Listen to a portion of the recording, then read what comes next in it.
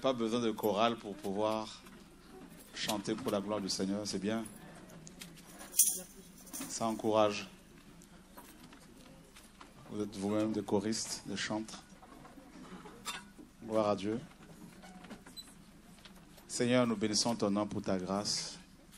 Conduis-nous dans tout ce que nous allons entreprendre, Père très saint. Au nom de Yeshua, notre Seigneur et Sauveur.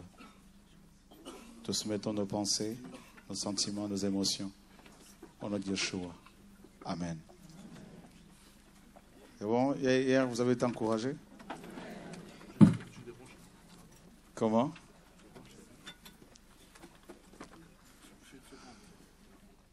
Est-ce qu'il y a des nouveaux qui sont debout? Est-ce qu'il y a des gens qui sont venus pour la première fois et qui sont debout?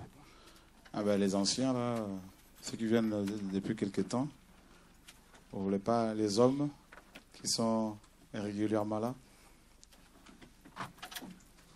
Vous ne pouvez pas céder vos places Ah oui, il y a un autre nouveau, il un, frère qui est.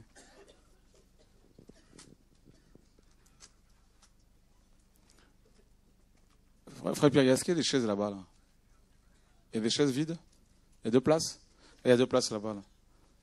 Voilà. Il y a un nouveau, un autre nouveau, le frère là qui est nouveau.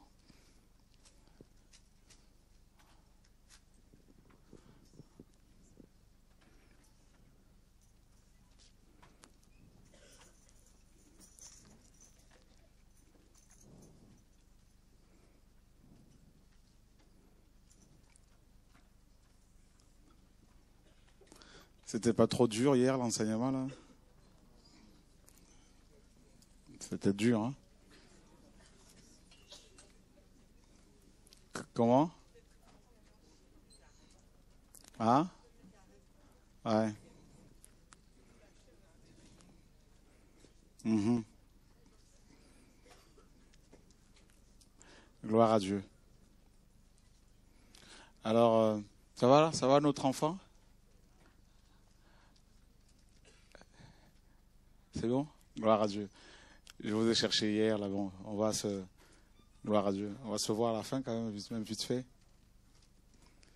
Cette nuit, quelqu'un veut me voir pour me demander de parler sur euh, l'avènement du Seigneur. Et euh, on finit ce soir l'enseignement sur la vidéo. Enfin, la vidéo. on voit des vidéos partout, donc du coup, sur... euh, on va parler de... Donc, des calendriers hébraïques, parce qu'il y en a plusieurs.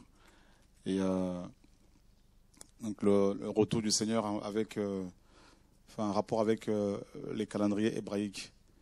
Et on va parler du calendrier, le calendrier religieux et civil. Parce que le Seigneur revient vraiment. Et on a beaucoup parlé cette nuit, enfin la, la nuit, ce matin en tout cas, en songe. On a parlé de la vision.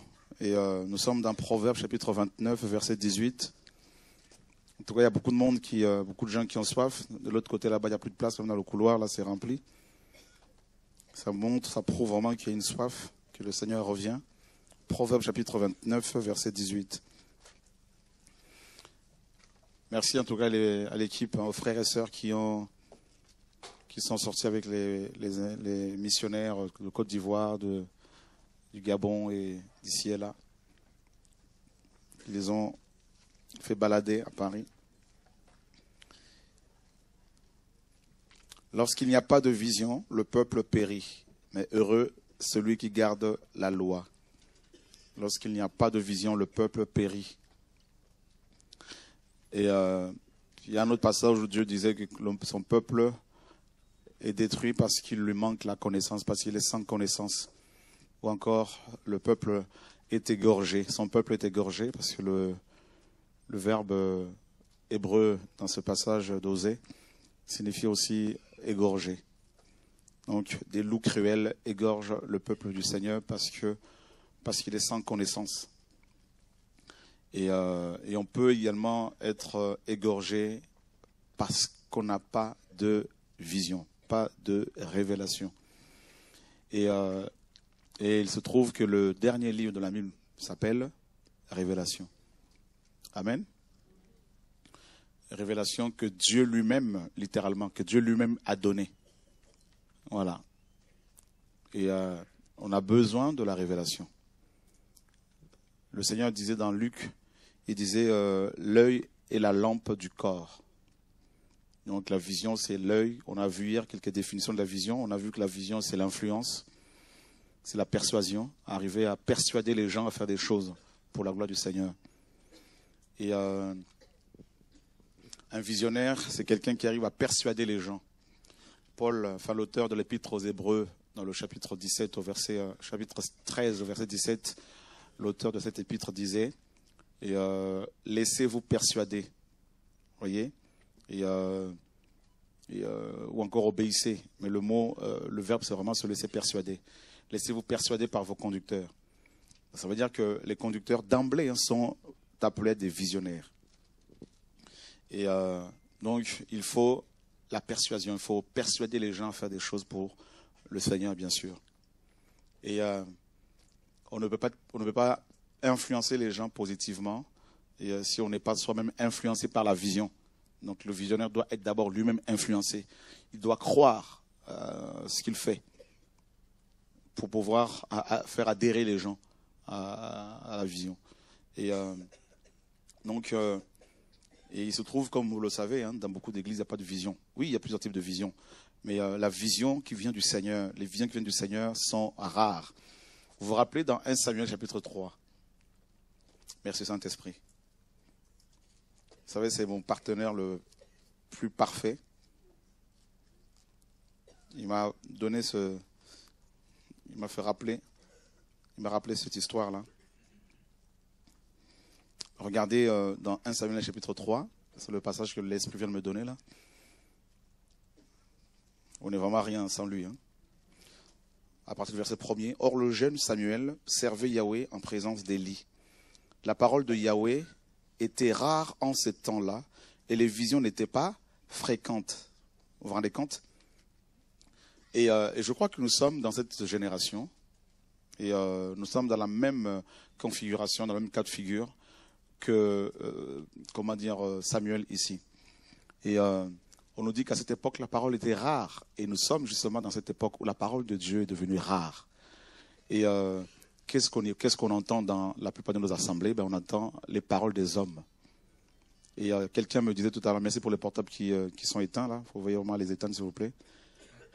Quelqu'un me disait tout à l'heure, et euh, c'est deux sœurs qui sont venues de Montréal pour la formation, là. Il y en a une qui me disait qu'elle a fait plus de dix ans dans une assemblée, dans son assemblée, et elle n'a jamais vu un seul miracle. Et, euh, et on n'a pas non plus, elle n'a pas non plus entendu des enseignements sur le péché, sur l'enfer. Et effectivement, la parole est devenue rare. Et euh, vous voulez qu'on ouvre là tout le monde tous là?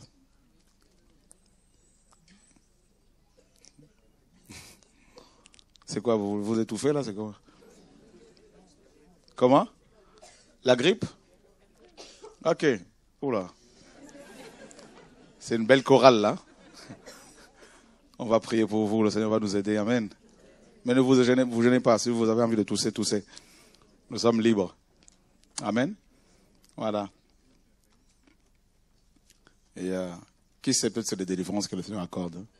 Alors, gloire à Dieu. Et euh, donc les visions n'étaient pas fréquentes. Et c'est exactement ce qui se passe. Les visions du Seigneur, les visionnaires véritablement, il y en a très peu. Vous savez, ces hommes et ces femmes qui sont envoyés par le Seigneur et qui viennent avec une vision claire et qui disent aux gens, voilà le chemin, voici le chemin, voilà comment on doit fonctionner. Avançons, allons de l'avant, avançons. Et très souvent, ces visionnaires ont, euh, reçoivent du Seigneur le don de foi, dont il est question dans 1 Corinthiens 12. À un autre, la foi. Voyez? Et euh, avec ce don de foi, le visionnaire ou les visionnaires voient, comment dire, frayent le chemin. Ce sont des pionniers. Un visionnaire est un pionnier. Là où les gens voient des, comment dire, des collines, tout ça, des montagnes, lui voit, n'est-ce pas, des chemins ou le chemin qui conduit à la victoire. Voilà. Là où les gens voient toute une forêt, tout ça, euh, infranchissable, ben lui, il va voir, euh, il, va, il, voit, un chemin, une route, tout tracée, toute tracée. Voilà. Donc, euh, et, euh, et les visions, effectivement, sont, sont rares, rares. Quand j'entends des gens parler ici, je me dis, mais où sont les visionnaires de Dieu? Oui, ils ont la vision des grandeurs, ils ont leur propre vision. Mais où sont les visionnaires? Des gens qui entendent, des gens qui voient, des gens qui entendent Dieu, qui voient, euh, qui ont des, qui, comme Paul disait, l'homme spirituel a la pensée de Christ. Et euh, on a vu que la vision, c'est aussi euh, faire faire aux gens des choses qu'ils n'aiment pas faire. Et non seulement il faut qu'ils les fassent, mais il faut qu'ils finissent par les aimer. Et ça, c'est pas nous qui obligeons les gens à faire les, choses. Et on a vu Pierre, par exemple, qui ne pensait pas pouvoir euh, partager la parole aux, inconvertis, aux païens notamment, aux, aux, nations, aux gentils. Et un jour, comme ça, Dieu lui dit, va voir Corneille et prêche la parole. Et il a fini par aimer cela. Et euh, on a vu, troisièmement, la vision, c'est quoi? La définition de la vision, c'est? C'est la lampe, très bien, ça rentre. C'est la lampe qui éclaire. Vous voyez, nous sommes dans un monde des ténèbres actuellement. Il y a les ténèbres partout. Ben, la vision t'éclaire. Voilà. La vision te montre le chemin, à peu près. Avec la vision. on a vu aussi que la vision motive, la vision encourage, la vision crée l'unité. C'est la motivation. Les gens ne se rassemblent pas pour se rassembler. On ne va pas aller à l'assemblée, dans les assemblées pour, pour les beaux yeux des pasteurs ou des prédicateurs. Il doit y avoir une vision claire. On y va pourquoi Regardez, la plupart d'entre vous, comme la sœur disait, vous fréquentez les assemblées depuis des années, mais c'est qu'est-ce que vous avez, qu'est-ce que vous tirez de, toutes ces réunions? Qu'est-ce que vous avez gagné de toutes ces réunions-là? Qu'avez-vous accompli pour la gloire du Seigneur pour Voilà. Bah, après ça, il y a les assemblées. de, de, l'autre, il y a quoi? Il y a, l'homme, l'individu. Toi, en tant que chrétien, qu'as-tu euh, reçu de Dieu? Qu'est-ce que tu as accompli? Regarde, tu as 50 ans, il te reste combien d'années? Il te reste 20 ans. On ne se rend pas compte. Hein Et vous vous rendez compte qu'il y a juste 20 ans qu'il vous reste à vivre là? Il y en a, c'est 25 ans, d'autres c'est 15 ans, d'autres c'est 30 ans, c'est pas beaucoup. Et encore, il faut éviter les aléas de la vie, les accidents. Hein? Voilà. Je parlais avec une jeune sœur tout à l'heure, là. Elle s'est aperçue qu'elle a perdu 4 ans. 4 ans avec un, jeune homme qui se dit frère. Et vous voyez, elle, elle est allée, elle est arrivée dans cette assemblée, elle est arrivée dans son assemblée, elle a fait connaissance de ce jeune homme, et elle ne s'imaginait pas qu'en allant dans cette assemblée, elle allait perdre quatre ans comme ça. Là. Et si elle, si elle, continue comme ça, elle risque d'en perdre, perdre encore plus. Et quatre ans, c'est énorme. Parce que Jésus a travaillé pendant trois ans pour marquer le monde. Vous vous rendez compte? Du temps que l'on perd c'est pour ça que Paul dit dans euh, Ephésiens 5, il dit rachetez le temps, car les jours sont mauvais. On ne se rend pas compte. Une seconde que l'on perd, une minute que l'on perd, euh, six heures que l'on perd pour écouter des niaiseries, pour écouter quelqu'un qui est assis sur son canapé, pour écouter, entendre des, des inepties. Mais si vous vous rendez pas compte à quel point Satan veut que les gens perdent la vision.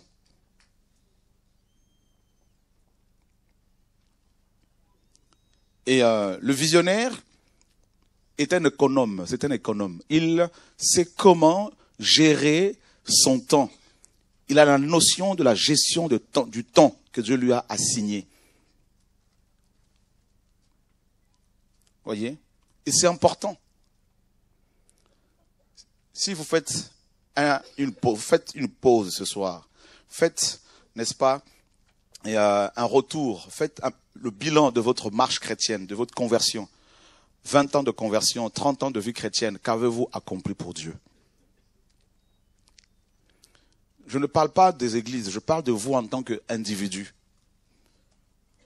Imagine, tu te retrouves devant le Seigneur, c'est le tribunal de Christ, et tu dois rendre compte sur la gestion de ta vie. que diras-tu au Seigneur? Et c'est pour cela qu'il faut la vision. Et je dis, chaque enfant de Dieu un visionnaire. Chacun est appelé à être visionnaire. Chacun de nous. Et je disais là, hier, quand je vois des frères et sœurs qui viennent me voir pour me dire, voilà, Dieu nous a mis à cœur de faire telle, telle chose, je leur dis, mais il faut y aller. Il faut y aller. On ne va pas faire les choses pour faire. On fait les choses parce que Dieu nous les montre. Mais il faut y aller. Vous savez, le visionnaire qui a saisi la pensée du Seigneur, qui a saisi le message du Seigneur, ne peut pas être tué par la sorcellerie, ne peut pas être détruit. Je vous assure. Parce que Dieu dit dans euh, Jérémie 1, il dit, je veille sur ma parole pour l'accomplir. Parce que la vision que tu as reçue, c'est la parole de Dieu que tu as reçue. C'est une parole qui t'a été donnée. Si Dieu te dit, occupe-toi des veuves, c'est une parole qu'il t'a donnée. Donc, il veille sur cette parole-là. Donc, si tu es fidèle, forcément, il veille sur toi. Le problème, c'est que beaucoup de visionnaires dans, le royaume de Dieu, beaucoup de chrétiens ne sont plus visionnaires. Pourquoi? Parce qu'ils se préoccupent des autres ils passent leur temps sur les autres. Voyez? Ou encore d'autres sont focalisés sur leurs propres euh, problèmes. Ils ne se focalisent pas sur, n'est-ce pas, les intérêts du royaume, ce que, Dieu veut, sur ça, sur euh, l'urgence qu'il y a, les urgences du Seigneur, mais ils sont basés sur leurs propres problèmes. Et c'est pour cela que ces chrétiens ont besoin des marabouts. C'est pour cela qu'ils ont besoin des, pasteurs qui soient comme des marabouts à qui ils vont euh, consulter, qu'ils vont consulter régulièrement. Et ça, c'est un piège dans lequel, n'est-ce pas, euh, beaucoup sont tombés, et d'où il faut sortir. Non. Hier, je faisais comprendre encore une sœur, je disais, non, tu ne peux pas venir me voir pour le même problème. Non. Il faut qu'on passe à autre chose. Il faut, il faut savoir sortir de cette situation pour aller plus loin, pour aller plus loin. Sinon, c'est, on fait du surplace. Et c'est pas ça, la vie chrétienne. C'est pas ce que Dieu veut. Non. Moi, je refuse ça. Vous devez refuser cela. Alléluia. Et euh, on a vu que Dieu ne donne pas la vision à plusieurs personnes en même temps. Non. Dieu ne peut pas appeler deux personnes et leur dire voilà la vision, voilà ce que vous allez faire. Non, non, non, non, non. Dieu ne fonctionne pas comme ça. Il a toujours appelé une personne femme ou homme, à qui il va confier une mission, une vision, une charge, une responsabilité, avec des capacités. Et cette personne-là va en parler à tout le monde, va en parler aux uns aux autres, et ceux dans les cœurs desquels Dieu avait mis la même pensée vont naturellement adhérer. Naturellement. C'est-à-dire, quand tu vas parler de ce projet, les personnes dans les cœurs, dans les cœurs desquels Dieu a déposé cette même semence te diront, eh ben, c'est ce que le Seigneur m'avait montré. C'est ce que le Seigneur m'avait dit. Eh ben, donc, je veux donner un coup de main. Je veux participer à ce travail, naturellement. Voyez? Mais c'est d'abord une personne qui reçoit la vision, qui reçoit la pensée. Comme Moïse, Dieu lui disait, n'est-ce pas, vous ferez le tabernacle selon le modèle que je vais te montrer. Toi, tu as vu et tu vas donner l'information aux autres. Tu vas informer les autres. Tu vas retranscrire ce que je t'ai révélé aux autres. Tu vas leur partager cela en détail et tout le monde va travailler. L'esprit va convaincre les uns les autres pour qu'ils puissent, n'est-ce pas, euh, travailler. Et Paul, pareil. Paul a eu une vision. Un Macédonien va lui apparaître pour lui dire, passe en Macédoine et secours-nous. Et Paul, Luc dira, parce que c'est celui qui écrivait cette, euh, cette lettre, les actes des apôtres, que après cette vision de Paul, nous concluâmes que Dieu nous appelait à évangéliser les Macédoniens. Et on a vu, n'est-ce pas, euh, les résultats. La vision. Alors quand tu, souvent on pose la question aux gens, c'est quoi votre vision? Souvent ils vont dire, il y en a qui disent Matthieu 28, allez faites tout dans les disciples. Ça c'est tout le monde. Ça c'est, on a vu que c'est, ça c'est une vision générale, tout ça. Mais après, il y a les spécificités. Il y a les spécificités. Dans quoi le Seigneur t'a spécialisé? Tu es spécialiste en quoi? Parce que dans le royaume, c'est ça. voyez? Nous sommes dans un corps. La main, sa spécialisation, c'est quoi? Attraper les choses. Sa, spécialité, c'est ça. Toucher, prendre, saisir, tout ça. La bouche, c'est manger, parler. Il faut pas lui demander autre chose. Vous voyez? Amen. L'estomac, c'est pareil. Lui, il prend toute la nourriture. Après, il va redistribuer les vitamines à tous les organes, tout ça. Là. Les reins, bah, lui, c'est eux, c'est pour purifier, c'est pour nettoyer, filtrer, hein, évacuer les toxines, tout ça. Là. Voyez? C'est ça. Chacun a sa fonction. C'est-à-dire chacun a une vision que le Seigneur lui a confiée, une manière de procéder. Mais dans la francophonie, on connaît plus les pasteurs. Oui, on, est trop habitué aux pasteurs. C'est pour ça qu'il n'y a plus de vision. Quand on, a, on dit à quelqu'un, Dieu t'a appelé, dans sa tête, il est pasteur. Il faut à tout prix qu'il commence une église. Parce qu'on fait comprendre aux gens que si tu n'as pas une église que tu diriges, tu n'es pas appelé. Et c'est pour ça que tout le monde veut être pasteur. Même quand on leur dit, mais écoutez, votre église là, que vous dirigez là, depuis cinq ans, il y a combien de membres? Oh, il y a toujours quatre personnes. Mais il faut savoir dire, on arrête pour passer à autre chose. Moi, il y a des gens qui m'invitent parfois, viens prêcher chez nous. Je sais qu'ils ne sont pas appelés à diriger les églises. Mais ils veulent que j'aille prêcher pour amener les foules, pour qu'ils puissent faire quoi? Les tuer? Ou prendre l'argent? Ou se glorifier? Non. Vous voyez, c'est pas parce qu'il faut ouvrir sa maison pour l'église qu'il faut absolument faire une église. Non. C'est ce que beaucoup doivent comprendre. Il y a plusieurs types d'appels. C'est pour ça qu'il faut la vision. Il y a des gens qui ont, perdu leur vision. Dieu leur avait donné la vision de, nourrir les pauvres. Eux, ils ont compris que leur vision, c'est d'être des enseignants. Vous voyez, donc il y a une confusion dans tout ça. Dieu ne t'a jamais appelé à commencer un centre de formation. Tu mets un centre de formation. Les gens ne viendront pas. C'est pas ton appel. Vous voyez Donc il y a une confusion dans la francophonie parce que les gens pensent que quand ils veulent reproduire les choses, hein, ce qu'ils ont vu ailleurs. Pas, ça se passe pas comme ça. Dieu doit planter dans ton cœur une vision. C'est une semence.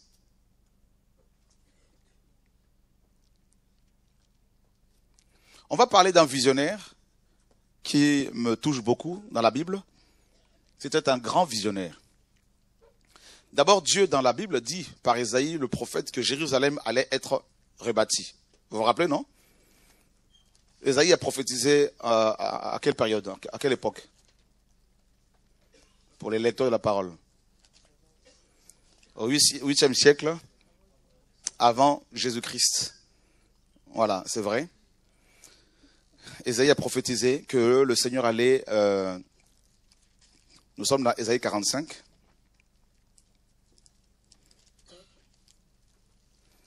Ésaïe 45, nous sommes au verset 13.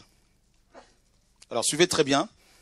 Et euh, les visionnaires ne sont pas suscités comme ça. Ils sont suscités parce que il y a des prophéties qui avaient été lâchées, qui avaient été libérées.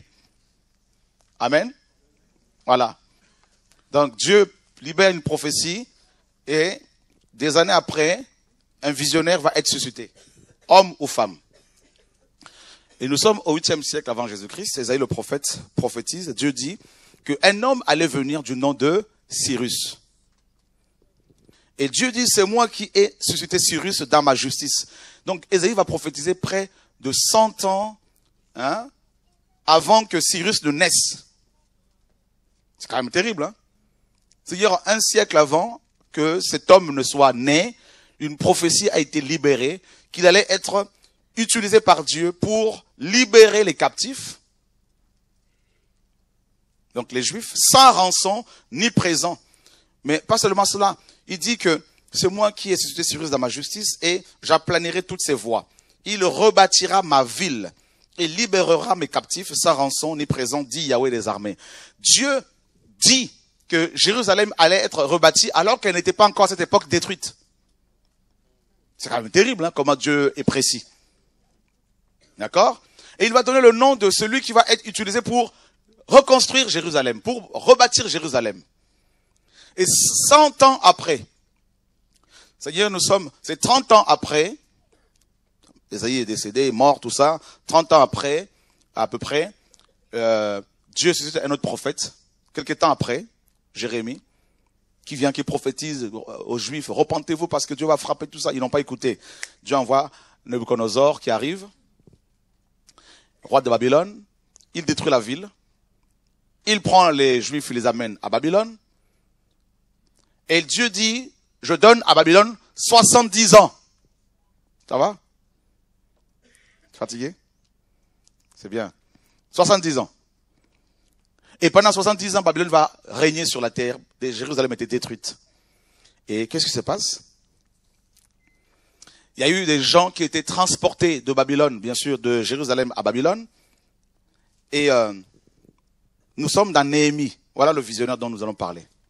Parce que Néhémie euh, euh, parle à chacun, son message concerne chacun de nous. 70 ans après, cet homme, gouverneur, Néhémie, va être suscité par le Seigneur. Alors je dis bien, écoutez bien mes frères et sœurs, nous sommes tous appelés à faire quelque chose pour le Seigneur. Dans le royaume de Dieu, il n'y a, pas de, chômage, ça n'existe pas. D'accord? Tout le monde est appelé à faire quelque chose pour Dieu. Et quand on a fini son travail, sa vision, Dieu nous reprend. Voilà. Quand un homme de Dieu meurt, ou un enfant de Dieu, ou un, euh, peu importe la personne, mais quand un enfant de Dieu meurt, s'il craignait Dieu, ça veut dire qu'il a fini sa mission. Il est rentré à la maison. Voilà. Et Néhémie chapitre 1er. Parole de Néhémie, fils de Akalia. Il arriva au mois de Kisle. Kisle, c'est-à-dire le neuvième mois, hein, selon le calendrier hébraïque. Ça, correspond à novembre euh, et décembre, novembre-décembre. La vingtième année, comme j'étais à Suse, la capitale, Anani, l'un de mes frères et quelques hommes arrivèrent de Juda. Bien sûr, lui, il s'est retrouvé à l'étranger. Hein. Il était à Babylone, tout ça. Et euh, donc, Anani, l'un de ses frères, arrive de Juda. Et il dit, quelques hommes arrivèrent de Juda. Je les questionnais au sujet des Juifs rescapés qui étaient restés de la captivité et au sujet de Jérusalem. Et ils me dirent, ceux qui sont restés de la captivité sont là, dans la province, dans une grande misère et dans l'opprobre. Et la muraille de Jérusalem, la muraille de Jérusalem demeure renversée et ses portes ont été consumées par le feu. Voyez? Et il dit, or il arriva que dès que j'entendis ces paroles, je m'assis, je pleurais et je fus dans le deuil plusieurs jours. Je jeûnais et je priais devant Dieu des cieux, le Dieu des cieux. Et je dis, je te prie au Yahweh, Dieu des cieux. En fait, ici, nous avons euh, cette vision euh, que cet homme va recevoir du Seigneur. Il entend que sa ville était détruite. 70 ans après la captivité. Il entend que les gens étaient dans la désolation. Que, les murailles étaient restées, n'est-ce pas, euh, renversées. Le temple détruit. Regardez la réaction que cet homme va avoir. Il va recourir à la prière. Il va prier. Il va jeûner il va prier. Un visionnaire est un homme, est une personne qui prie et qui jeûne.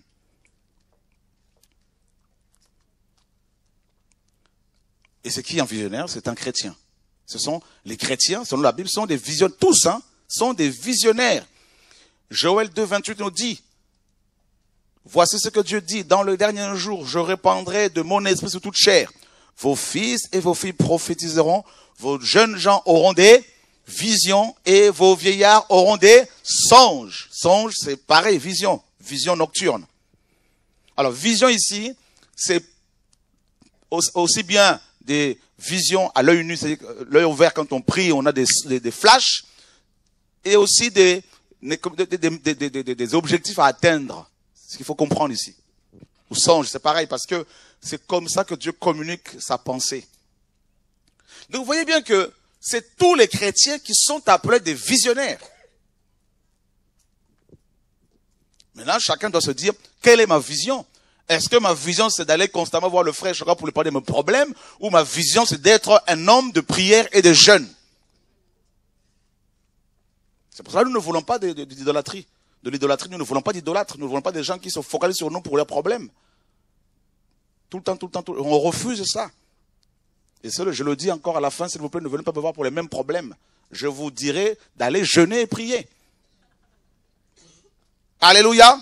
Voilà. Une sœur est venue me voir hier, elle m'a dit, Dieu m'a dit de ne plus venir t'embêter. Je, je dis, ah, ça, c'est vraiment le Seigneur. Voilà, on a besoin de ça. Et elle a dit, Dieu m'a montré comment il t'aimait, tout ça, là, j'ai rigolé, j'ai dit, vraiment le Seigneur même, effectivement. Ah, pour te dire, de te demander d'aller le voir lui directement, c'est que vraiment il le fait même. C'est important. Tu es visionnaire. Il faut qu'on vous dise qui vous êtes, votre identité. Je dis bien, un visionnaire ne peut pas être mangé par, la par les sorciers. On peut pas vous. Mais c'est pas possible. Comment?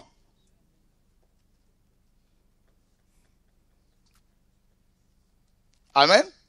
Voilà. Si tu as perdu la vision, ben, tu vas la retrouver aujourd'hui. Gloire à Dieu. Ta vision, ce n'est pas d'aller, dans un bâtiment, t'asseoir et écouter le bishop du 1er janvier au 31 décembre. Non. Non. Tu as, tu as des choses à faire tous les jours. Donc, il jeûne, il prie. Il va parler à Dieu. Il va parler, parler, parler, parler, parler. Il va demander pardon pour les péchés de ses pères et ses propres péchés. Et le chapitre 2 nous dit, et il arriva au mois de Nissan, le mois de Nissan, la vingtième année du roi Artaxerxès, comme le vin était devant lui, je pris le vin et le présentai au roi. Or, je n'avais jamais eu mauvais visage devant lui. Et le roi me dit, pourquoi as-tu mauvais visage, puisque tu n'es point malade? Cela ne peut être qu'une tristesse de cœur. Je fus alors saisi d'une grande crainte, et je répondis au roi, que le roi vive éternellement. Comment n'aurais-je pas mauvais visage, puisque la ville où sont les sépulcres de mes pères demeure désolée, et que ses portes ont été consumées par le feu? Et le roi me dit, que me demandes-tu? Alors je priai le Dieu des cieux, et je dis au roi, si le roi le trouve bon et si son serviteur lui est agréable, envoie-moi en Juda vers la ville de sépulcre de mes pères pour la rebâtir. Voilà la vision qu'il a eue. Rebâtir Jérusalem. Ce n'était pas n'importe quelle vision. Hein. Ah oui. Et c'est ce que nous avons tous reçu en tant que chrétiens. C'est rebâtir les hommes. Les hommes sont détruits par le péché. Vos amis à l'école, vos copines, vos copains, ils sont détruits. Nous sommes des temples et ces, temples-là sont détruits. Vos enfants que vous avez, il faut le reconstruire. Votre femme, votre mari, votre entourage, vos pères, vos mères, tout ça. Là. Vous voyez, nous sommes des bâtisseurs. Nous sommes des réparateurs de brèches. Nous sommes des restaurateurs. C'est pour ça que je dis que Néhémie nous concerne tous. Voyez? Tous. On a pris votre vision, on a confié ça au pasteur. Et vous, vous faites quoi? Vous, on vous a dit, asseyez-vous, adorez les hommes, acclamez les hommes, portez leur Bible, tout ça, donnez la dîme, vous serez bénis. On vous a infantilisé, on vous a rendu puéril, on vous a complètement, excusez-moi du terme, pour la plupart des chrétiens, abrutis. On vous a complètement, beaucoup sont dans la, dans niaiserie depuis des années, ils ne savent même pas ce que Dieu attend d'eux c'est grave. Et Dieu est en train de revenir. Vous avez le nombre de personnes qui vont en enfer? Vous avez le nombre de jeunes qui vont en enfer?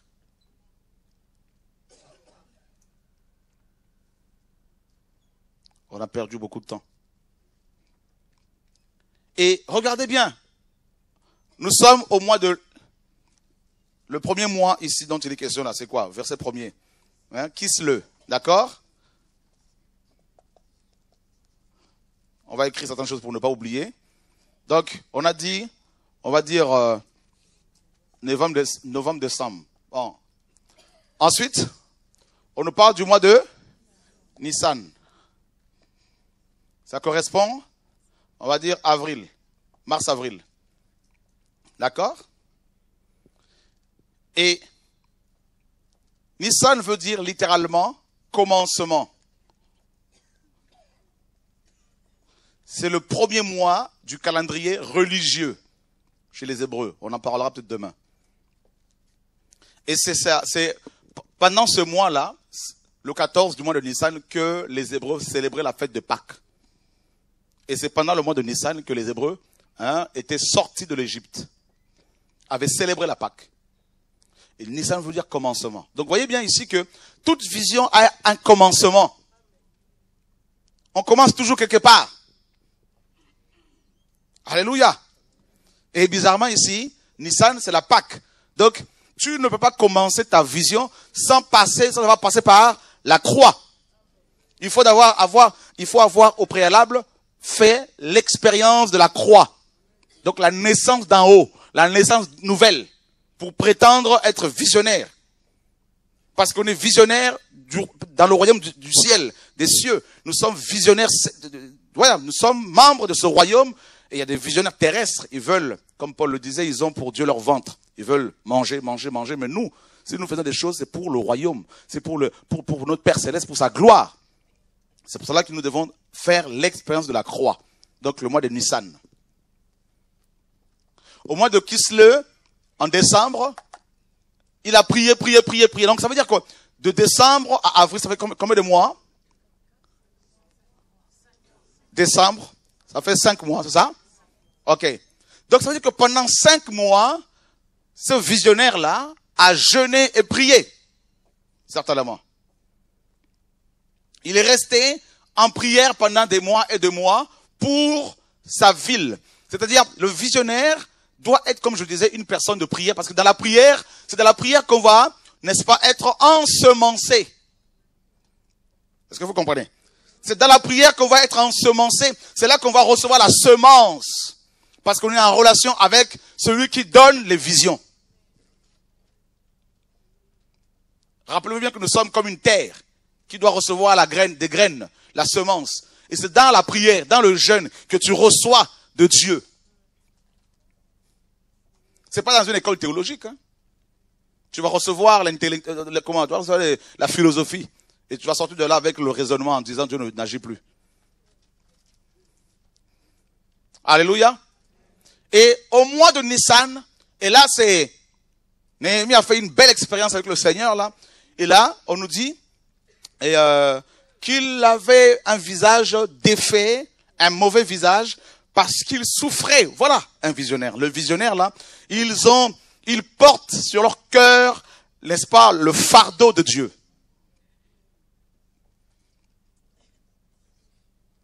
Ils ont la compassion des âmes.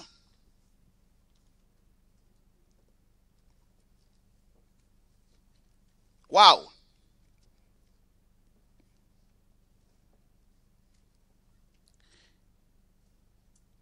C'est-à-dire que le, proverbe nous dit que le, un cœur attristé hein, se manifeste sur le visage.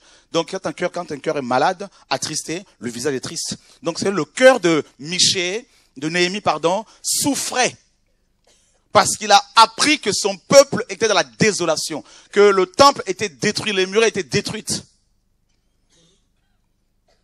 Je disais à un, frère, comment toi tu peux travailler encore dans le cabinet de ce premier ministre-là hein?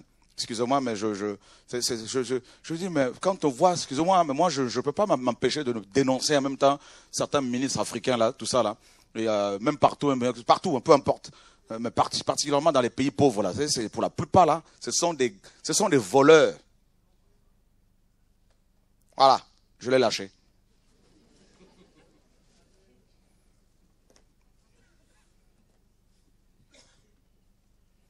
Parce que je ne peux pas concevoir, parce que ce ne sont pas des visionnaires, je ne peux pas concevoir qu'un ministre avec, dans un pays où il y a autant d'argent, autant de richesses, que ce soit en Centrafrique, je ne sais pas dans quel pays, tout ça là, en Côte d'Ivoire, qu'ils puissent prendre leur gros 4x4, ils sortent de leur maison là, devant là, c'est des nids de poules. C'est même pas des nids de poules qui y a sur le route là, ce sont des cratères. C'est comme si les, météorites étaient tombés dessus. Je ne conçois mal quand il pleut, ce sont des lacs qui se forment. Je conçois mal que ministre, hein, dans son 4x4 qu'ils sont à l'aise. Donc il y a un problème de vision. Donc c'est un message qui concerne tout le monde.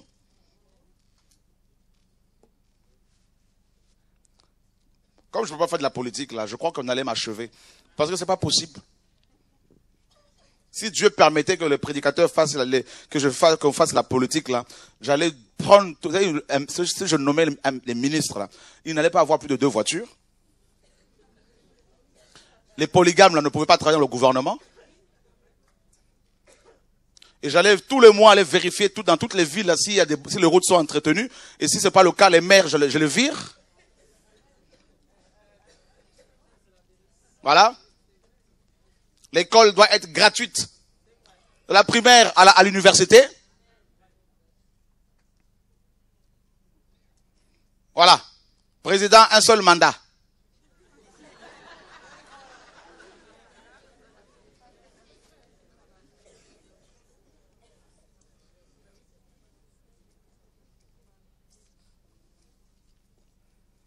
C'est pourquoi j'attends. Le prochain ministre qui va venir me voir ici, là, je veux lui parler clairement. Déjà, je parlais à une femme ministre là, quelque part en Afrique, là, je suis allé en Afrique, là, je dis, c'est comment là? Elle m'a dit, on peut donner, on est, capable de donner 1000 euros euh, euh, aux, travailleurs, le SMIC de 1000 euros. Mais le président et les autres disent, si on donne ça aux Africains, là, ils pourront plus le respecter. Je dis, voilà les sorciers. Je vais faire une émission encore là, sur le Congo. Là. Je vais faire ça en lingala, bien comme il faut. Je travaille mon, mon lingala, mon- euh, la, la langue là, bien comme il faut là. Ça va. Moi, je peux, comme je peux plus y aller, je vais parler bien comme je vous dis.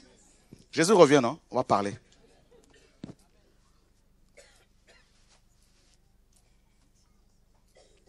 Ça, c'est une parenthèse. Comment vous pouvez concevoir? J'ouvre encore la parenthèse, là, vite fait là. Alléluia. Dis à ton voisin, il va parler, ce monsieur-là. Comment vous pouvez concevoir que des enfants de 3 ans dorment dehors dans des pays où il y a autant de richesses? 3 ans, ils sont violés. Hmm? Je vais faire une vidéo pour parler aux évêques catholiques là, de Kinshasa, le Congo RDC, là, avec leur machin, la Senko, là, je sais pas quoi. Là. On va parler. Vous devez, faut- il, faut, il faut que les choses soient claires.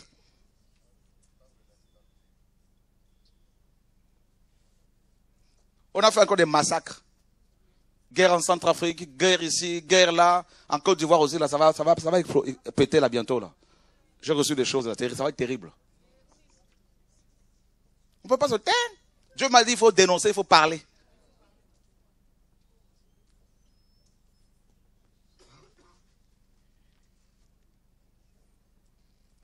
C'est bon?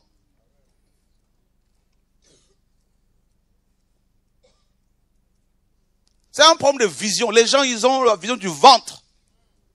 Ministre, ministre. Avec les pasteurs qui leur font la courbette, là. Hmm? J'ai appelé en général, là. Je dis, vous, tu, ouvres encore, tu ouvres encore une boîte de nuit alors que tu te dis chrétien. Je dis sœurs, quittez là-bas. Quittez la salle qu'il a donnée, là. Quittez. Partez. Il n'y a pas de, oh, colonel généraux, tout ça, là. Si vous êtes dans la compromission, là, on vous dit la vérité en face. Et puis, on, on se sépare d'avec vous, là. Il n'y a pas de compromission, là. Nous servons le roi de rois. Nous ne voulons pas nous compromettre. Soit c'est la parole, tout le monde doit se plier, à la même parole. Devant Dieu, c'est tout genou. On a dit tout genou. Si les 24 anciens au ciel là-bas là, sont à genoux devant le maître de maître, et vous là, les mortels là, tout ça là, hein? S'il y a des grands colonels comme Corneille là, tout ça là, à genoux, hein? Et vous? Poussière. Quand vous êtes frappé par euh, la maladie, là, vous portez des couches comme les bébés. Colonel, généraux ou pas, président ou pas, sénateur ou pas. Couche. Vous voulez que je parle encore? Dis à ton voisin, ce monsieur, il parle. Voilà.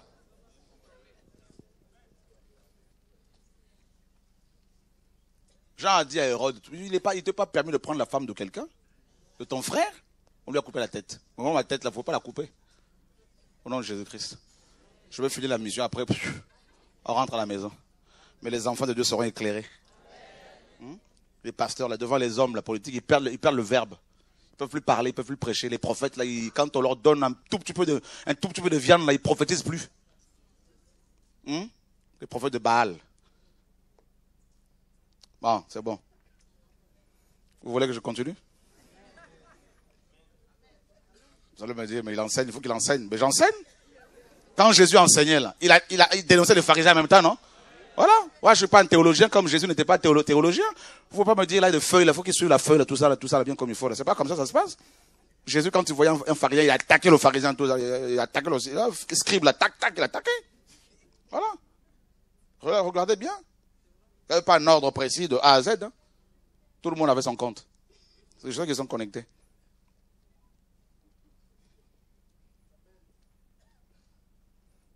Donc quand on parle de la vision, tout ça c'est la vision. Mhm. Si tu travailles dans un gouvernement ici, il faut que tu te repentes. Il faut mettre de l'ordre. Voilà. Quand je vois des femmes veuves là, qui sont violées, qui dorment sur les marchés, là, vous trouvez ça normal? Ces ministres-là, ils ont des, ma- des- des mamans, non? Comment vous laissez les vieilles dames comme ça dans la rue Mais c'est des, des- gens, il faut parfois les arrêter, les mettre, les mettre par terre, il faut les fouetter. Attendez, notre roi revient là. On va vous juger. Parce que nous allons juger le monde. Nous, l'église. Nous allons vous juger. Moi, je me prépare déjà bien comme il faut. Je me prépare. Il y en a, là, je vais les convoquer personnellement, toi, là, je t'attendais depuis, là. Viens t'asseoir, là. Un Corinthien se dit, on va juger le monde. C'est écrit, non? Ah. Ça arrive. Ça révolte. Mais c'est la sainte colère. Parce que les hommes sont devenus pires que les animaux. Les églises n'en parlent même pas. Des sauvages. Pasteurs escrocs. Tu te fais porter la Bible. Les chrétiens deviennent des esclaves des pasteurs. Vous trouvez ça normal? Ça, fait partie de la vision. Dis c'est le message, tout ça. Là. Voilà. Ne veulent pas me dire, non, mais il ne faut pas parler comme ça. Il ne faut pas me dire ça. Si vous n'êtes pas d'accord, là, vous êtes libre. Voilà. Je ne change pas de message. Voilà. Ce n'est pas une église. On dit non, en général, m'a dit, alors, si quelqu'un est polygame, alors il faut qu'il reste tel qu'il est. Je dis, papa, il reste pas tel qu'il est. Il faut qu'il renvoie les autres femmes. Là. La première femme, c'est la femme légitime. Ah bon? Je dis, c'est comme ça. Général ou pas, là, c'est comme ça. C'est la Bible. Voilà. C'est comme ça. C'est pour cela que je ne peux pas me retourner dans une fédération. Je vais tout casser. Dieu me saisit encore là. Mhm.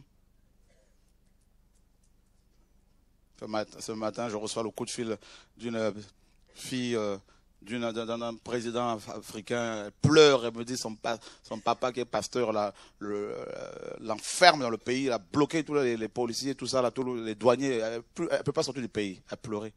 Je dis voilà, les pasteurs. C'est le, le, monde à l'envers. Moi, je vous dis, là, Dieu va, Dieu va frapper.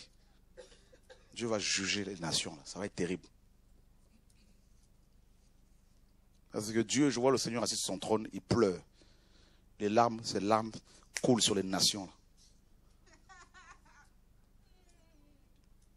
Quand vous voyez les enfants en Haïti qui mangent, de la, qui mangent du sable, qui mangent de l'argile, hein, alors qu'il y a de la nourriture qu'on jette ici et là, tout ça, l'abondance de la nourriture, les hommes sont devenus plus sauvages. Vous, vous, amassez tous ces trésors-là, c'est pour aller où avec? On va vous enterrer avec Hmm? Vous pensez partir au, cimetière avec tous ces torts-là? Même les animaux, là, quand ils tuent, là, c'est pour manger. Les hommes, ils tuent pas plaisir. Voilà. C'est un loisir.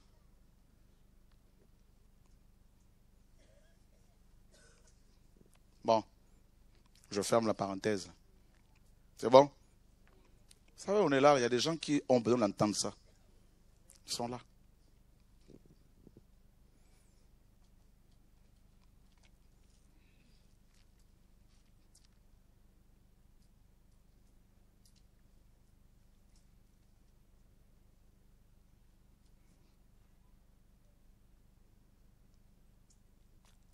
Tu es fidèle, hein?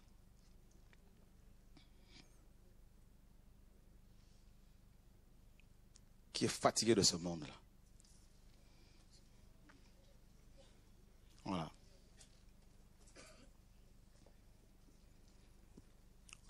Gloire à Dieu. Donc Néhémie pleure, Néhémie jeûne, Néhémie gémit devant le Seigneur.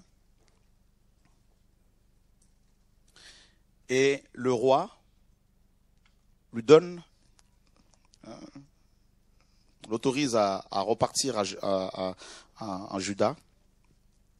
Et le verset 9, J'allais donc vers les gouverneurs qui sont de l'autre côté du fleuve et je leur donnais les lettres du roi. Donc là, il est reparti en, Juda avec des lettres du roi et euh, qu'il a envoyées. Le roi Artaxerxès. Et euh, et quand il arrive là-bas, regardez bien, le roi avait aussi envoyé avec moi des chefs de l'armée et des cavaliers. Quand Sambala, dis à ton voisin Sambala, Sambala, hein? C'est terrible, hein? Regardez bien. Écoutez bien. Et il y a qui d'autre? Quand Sambala, le Horonite, et Tobija, le serviteur ammonite, la prirent, ils eurent un très grand déplaisir de ce qu'il venait un homme pour procurer du bien aux enfants d'Israël. Amen. Tobija. Donc, la vision que tu as reçue va susciter naturellement des ennemis. Donc le visionnaire que tu es doit être préparé. Ça, je m'aurais martelé là-dessus. Parce que quand je me suis converti, on ne m'a pas préparé à l'adversité. Et un visionnaire qui n'est pas préparé à l'adversité peut facilement se décourager à cause des attaques, à cause des critiques, à cause des moqueries, tout ça. Et, euh, et c'est important d'être préparé. Voilà. C'est-à-dire, il y a des gens qui n'attendent que toi, qui, attendent seulement que tu reçoives la vision, que tu reçoives une vision du Seigneur, un ordre. Et là, tac, pour Néhémie, c'était Tobija, Sambala. Et qu'est-ce que ces deux hommes vont vouloir? Écoutez bien, ils ont eu, n'est-ce pas, de la, n'est-ce pas, du déplaisir. Ils ont eu de la colère, de la jalousie, de ce que quelqu'un venait pour faire du bien aux enfants d'Israël. Parce que le monde n'aime pas les gens bien. Non. Comme ce que je viens de dire là par rapport à certains, n'est-ce pas, de nos ministres en Afrique, tout ça, ou dans les pays pauvres, que ce soit en Asie ou je sais pas où. Parce que les gens ne veulent pas qu'on dise ces choses-là. L'injustice, qu'on n'en parle pas, qu'on dénonce à rien, qu'on ne dise à rien. Que des femmes soient violées, c'est pas un problème. Que des enfants soient égorgés, c'est pas un problème pour beaucoup. Non, c'est pas possible. Que des gens se fassent exploser, c'est pas un problème pour beaucoup. Non, faut pas rester indifférent à toutes ces choses-là. Soit on est plus, soit on est humain. on n'a pas forcément besoin d'être prédicateur pour être, pour s'indigner, pour être indigné par rapport à toutes ces atrocités. Si on est humain, on ne peut pas rester indifférent. Pas possible. Et là, il se lève, il se dresse contre Néhémie. Et qu'est-ce qui, qui se passe? Regardez bien. Ainsi, j'arrivai à Jérusalem et j'y passais trois jours. Puis je me levai de nuit avec quelques hommes, mais je ne dis à personne ce que Dieu avait mis dans mon cœur de faire pour Jérusalem. Le visionnaire ne doit pas, il doit savoir à qui partager, avec qui partager.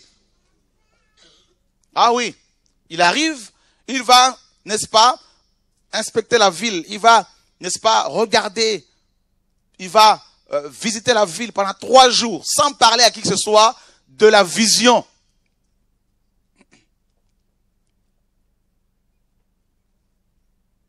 De ses projets, ses intentions.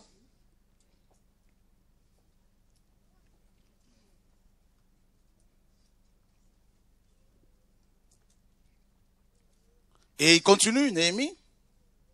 Je sortis donc de nuit par la porte de la vallée et me dirigeai vers la source du dragon, vers la porte du fumier. Et je considérais les murailles de Jérusalem qui étaient en ruine et ses portes consumées par le feu. Donc le visionnaire doit avoir une vision globale du travail qu'il est amené à faire, de l'œuvre qu'il est amené à restaurer. Parce que si tu ne considères pas, si tu n'inspectes pas le, les hommes ou la ville ou le, pays où, Dieu t'envoie, si par exemple il te dit, je veux que tu nourrisses les veuves, des veuves, mais il faut d'abord les connaître il faut les approcher. Il faut, c'est important. Tu ne peux pas aider quelqu'un si tu ne le connais pas véritablement. Je dis, on peut aider tout le monde, il n'y a pas de problème. Mais si tu veux pousser loin ton travail, si tu veux faire un travail profond, ben, il faut approcher les gens, il faut les connaître. Dieu a, a fonctionné comme ça avec nous. Il est devenu homme pour mieux nous aider. Voyez? Donc il a d'abord considéré, il a regardé, il a observé, il a fait une analyse générale, une inspection générale sur l'état du pays.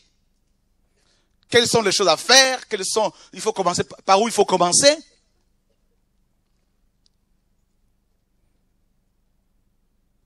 Donc, ça s'appelle l'information, avoir l'information exacte, avoir la connaissance sur le travail à faire, connaître son travail, connaître. Et euh, donc il, fallait avoir cette connaissance-là. Et il dit, Ensuite, au verset 16, or les magistrats ne savaient pas où j'étais allé, ni ce que je faisais, car je n'avais rien dit jusqu'au moment jusqu'à ce moment, ni aux juifs, ni aux prêtres, ni aux chefs, ni aux magistrats, ni même à ceux qui, à ceux, hein, au reste de ceux qui s'occupaient des affaires.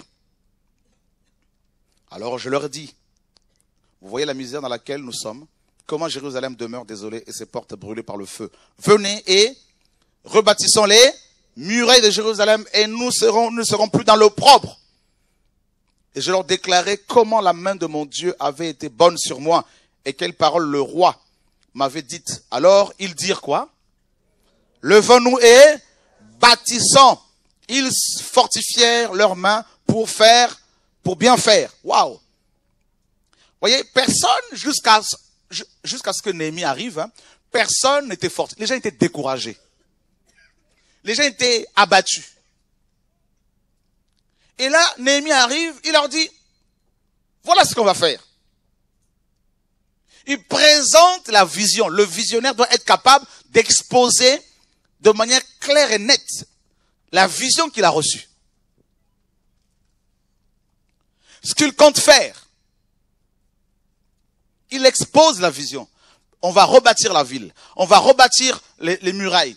Et là, on nous dit que eh ben, c'est le peuple maintenant qui va dire, levons-nous et rebâtissons. Levons-nous. Mais il aurait fallu d'abord qu'un homme se lève pour que les autres se lèvent. Si tu veux que tout le monde se lève en même temps que toi, tu ne feras jamais quelque chose pour le Seigneur. Quand j'entends des gens me dire, mais non, on n'est pas, je, suis seul, on est seul, on n'est pas nombreux. Mais je leur dis, mais attendez, attendez, attendez. Mais c'est comme ça que Dieu commence. Vous voulez avoir, vous voulez commencer avec 10 000 personnes, mais vous ne ferez jamais rien.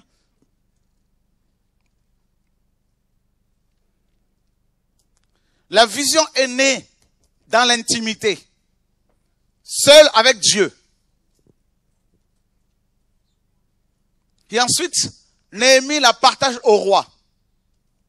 Dieu convainc ce roi pour lui donner des lettres et des soldats pour l'accompagner et un moyen de transport. Il arrive dans sa ville, à Jérusalem, et il considère la ville. Il remarque. Il va faire une inspection générale. Il va considérer, n'est-ce pas, la ville dans toutes ses, tous ses détails. Et là, il va voir le peuple maintenant pour dire, travaillons.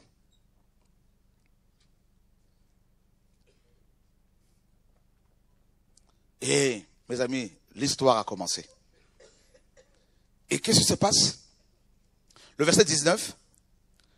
Mais Sambala, le Horonite, Tobija, le serviteur ammonite, et Geshem, l'arabe, l'ayant appris, se moquèrent de nous et nous méprisèrent. Ils dirent, qu'est-ce que vous faites? Ne vous rebellez-vous pas contre le roi? Mais je leur répliquai et je leur dis, le Dieu des cieux lui-même nous donnera le succès. Alléluia. Dis à ton voisin, il y a du succès dans l'œuvre que Dieu fait. Ben oui, c'est normal. S'il n'y a pas du succès là, arrête.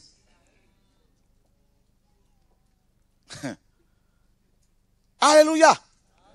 Voilà. S'il n'y a pas de succès là, arrête mon frère, ma soeur. Il faut arrêter. On fait un séminaire là, quatre pèlerins. Il faut arrêter. Alléluia. On va dire, mais il ne faut pas mépriser les faibles commencements. Non, mais non, non, non, non, non. Dis à ton voisin, Dieu n'est pas dedans. Tu pries pour un handicapé, ça marche pas. Frère, il faut d'abord arrêter.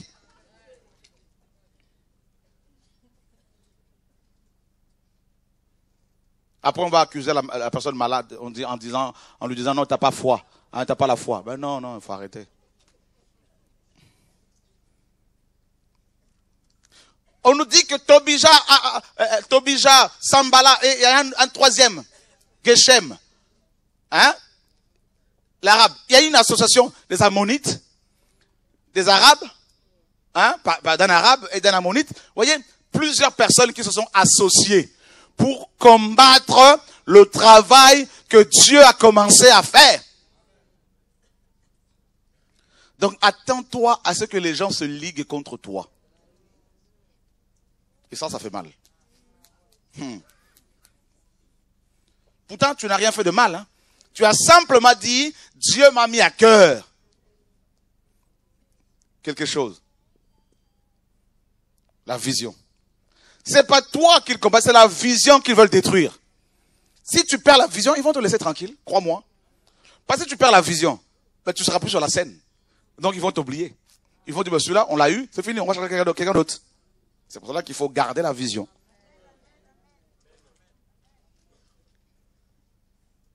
Qui veut garder la vision que je lui ai donnée? Voilà.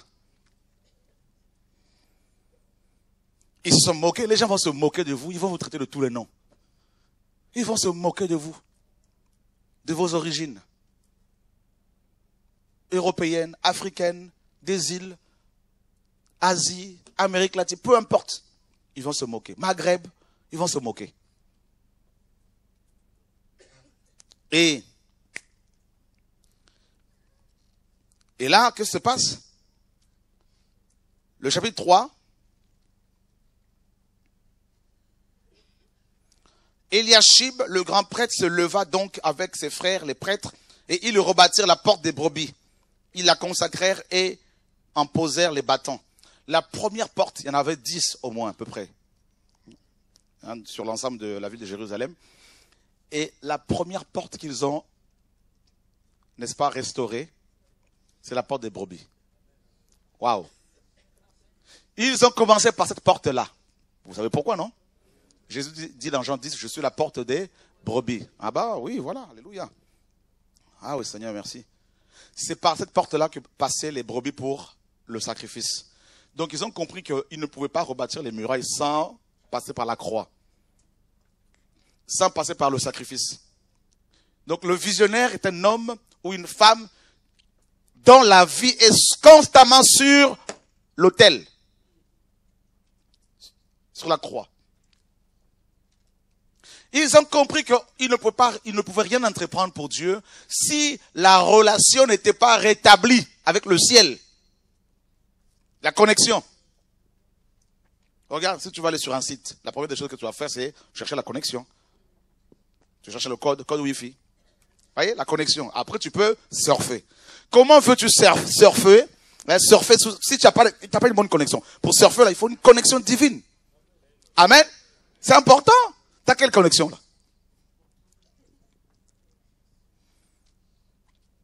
Ben oui. Et ça, ici là, l'hôtel, c'est la connexion. Pas connexion Wi-Fi, hein, mais connexion divine. Il cherchait le réseau. Il faut commencer par le réseau. Qui veut passer un coup de fil? Qui passe souvent des coups de fil ici? Ben, Qu'est-ce que tu cherches si tu n'as pas de réseau? Le réseau. Vrai ou faux? Tu cherches. Il y en a plusieurs. Hein? On dit, tel réseau. Non, c'est pas ça. Euh, t'as c'est là, on, clique dessus. Hmm. Et on te demande le code.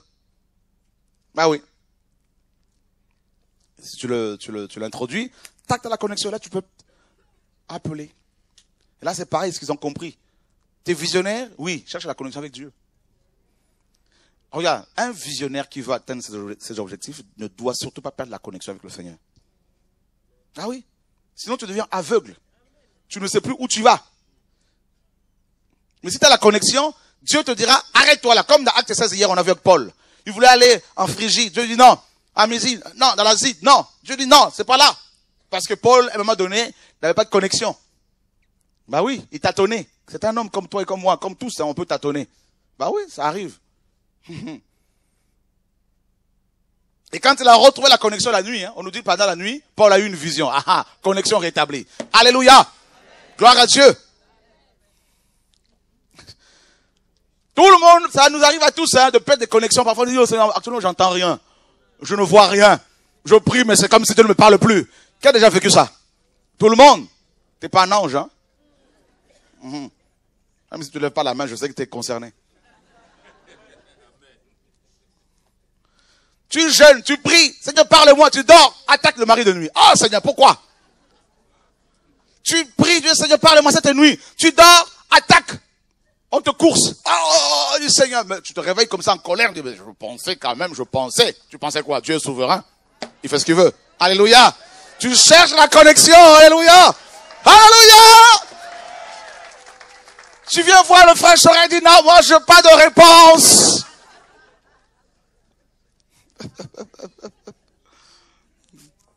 bah oui. Donc ils ont commencé par la porte des brebis.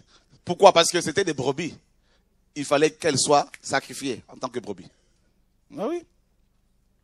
Ils l'ont consacré. La connexion rétablie. Et vous avez vu, mes amis, un homme reçoit l'appel, Néhémie. Vous avez vu maintenant comment le peuple, c'est tout un peuple qui s'implique.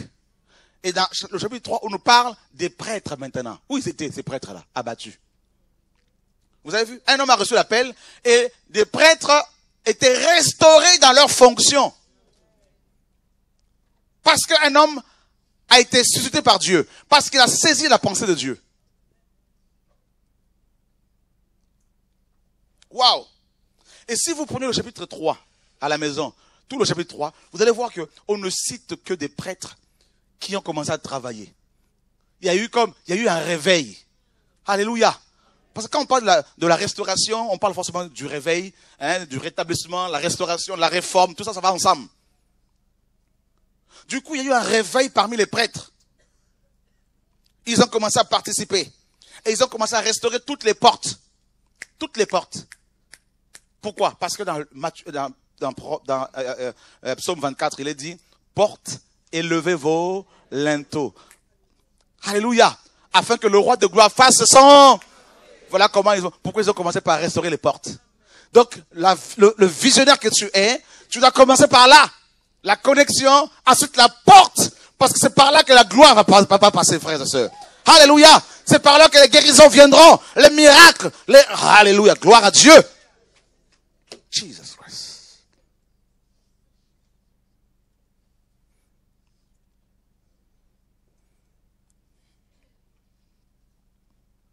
Et là, regardez bien, le chapitre 3, c'est fini, c'est les prêtres qui travaillent là, ils ont tout réparé, ils ont restauré, tout ça. Le chapitre 4, verset 1er, on retrouve encore Sambala. Les Sambala. Vous pensez que c'est que le frère Choré qui a des détracteurs? S'il y avait Internet à l'époque, il y aurait eu des sites sur Néhémie. Il y aurait eu des vidéos contre Néhémie. Il y aurait eu des blogs contre Néhémie. Il y aurait eu des montages taïchi sur Néhémie. Alléluia Dis à ton voisin, c'est pas nouveau. Dis, dis à ton voisin, toi aussi, ça va arriver.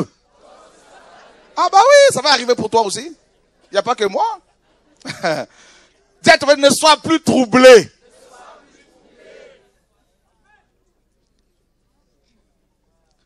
Vous avez vu? C'est-à-dire, Néhémie était en train de bosser. Les, les Sambala, les Tobija étaient sur leur clavier. Derrière les ordinateurs.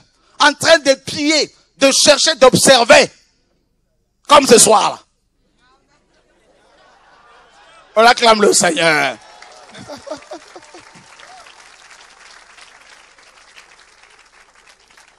Frères et sœurs, est-ce que c'est moi qui ai écrit Tobija ici? Est-ce que c'est moi qui écris Sambala? Mais pourquoi vous ne dites pas Fallait pas parler d'eux? Pourquoi vous ne dites pas ça? C'est la distraction. Dis à c'est biblique. Alors arrêtez de dire frère, il faut pas t'occuper. Non, il faut arrêter frère. C'est l'histoire qui se réécrit. Hmm?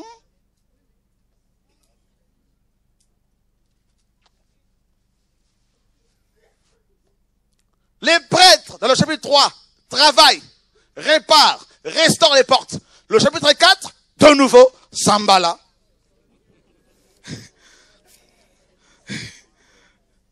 Or, il arriva, lorsque Sambala apprit que nous rebâtissions la muraille, qu'il fut saisi de quoi?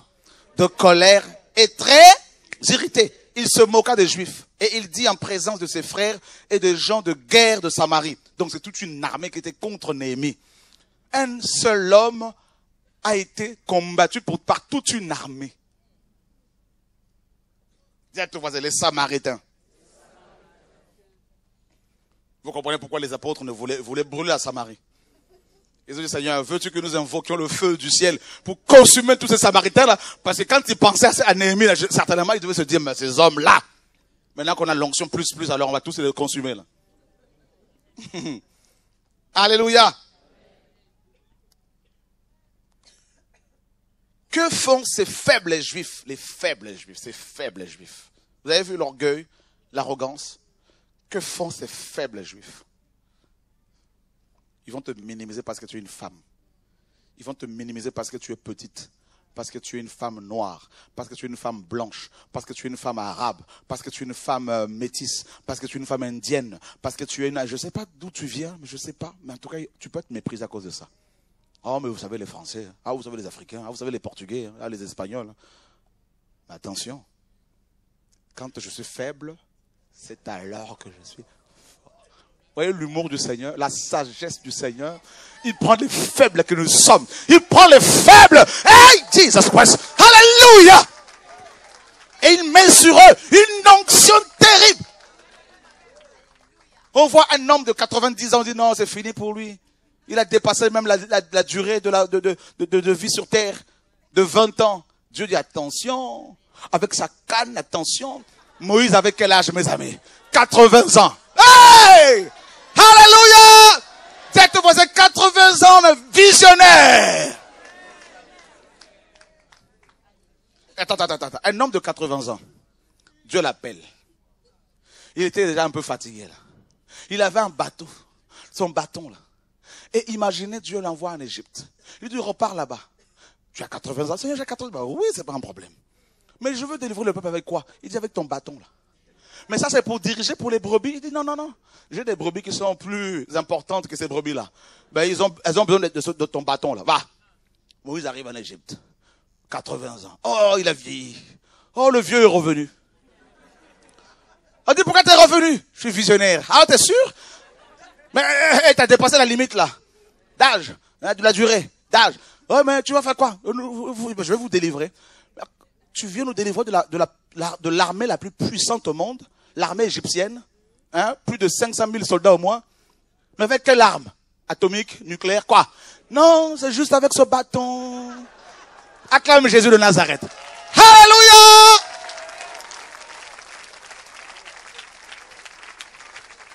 Frère, ne méprise pas un homme. Peut-être même c'est le visionnaire que Dieu t'a envoyé.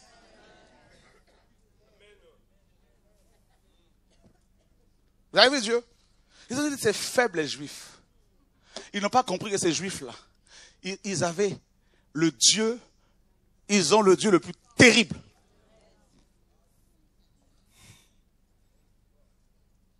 Un jour, le prophète, le prophète Élie, était, Élisée, était, les, jeunes prophètes sont allés le voir, lui ont dit, oh, notre père, on avait prêté cet instrument. Ils ont fait tomber dans l'eau. Vous savez quoi? Une hache. Hein? qui devait peser au moins 10 kilos. Élisée dit, montrez-moi l'endroit. Il lui a montré l'endroit. Il prend un petit bout de bois. Il a jeté là. Lâche, lâche, hein? Comment ça? Frère. Oh. Un bout de bois. Tu es ce bout de bois là. Tu es ce bout de bois là. Que les gens peuvent minimiser. Dieu te prend, va là-bas là. Un problème caché. Il va remonter. Cette maladie incurable sera guérie, frère. Au nom de...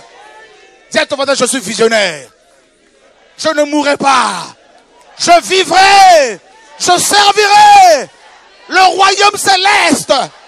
Je servirai Adonai, Elohim, El Elion, El Shaddai, Jésus-Christ. Alléluia.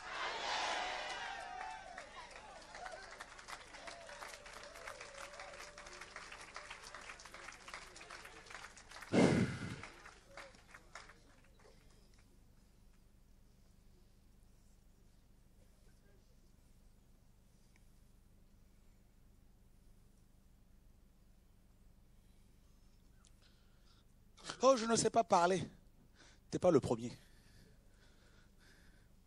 Lui aussi, il a dit qu'il était bègue. Vous savez, Dieu dit, t'inquiète pas. Lève seulement le bâton. Oh, je ne sais pas, je ne vois pas. Paul avait un problème de vue. Oh, tout est prévu. Pour ne pas que tu aies une raison. Dieu prend tes faiblesses. Il va s'en servir pour sa gloire. Afin que tu ne te glorifies pas. Alléluia. Oh, il y a quelqu'un ici, là. Il y a quelqu'un ici que Dieu va saisir. Hein? Oh, alléluia. pour amener la révolution. oh Jesus. Quand tu vas plier tes genoux là, c'est la révolution. C'est des conversions des jeunes. Quand tu vas plier tes genoux, c'est des couples restaurés. Au nom de Yeshua. Alléluia. Quand tu vas plier, plier, plier, plier tes genoux là, c'est des femmes qui vont être restaurées. Alors, il ne faut plus te minimiser. Il ne faut plus te minimiser. Cette maladie ne te conduira pas à la mort. C'est une expérience que tu, oh, que tu vis avec Dieu. Oh, Jesus Christ.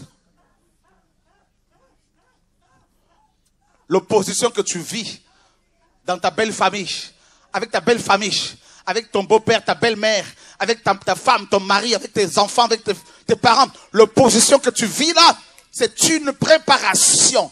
C'est une préparation. C'est parce que Dieu a mis l'onction sur toi. Dieu a mis la paix sur toi. Dieu a mis, oh alléluia, tu as préparé, a préparé quelqu'un ici.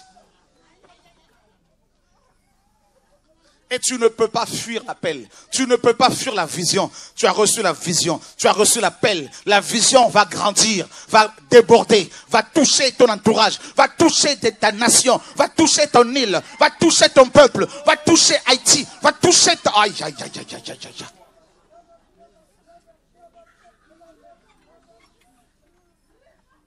Dieu te met à cœur d'aller en Haïti. Il te met à cœur d'aller. Ben oui, c'est moi qui t'envoie. C'est moi qui t'envoie ma fille. C'est moi qui t'envoie. Le temps est arrivé.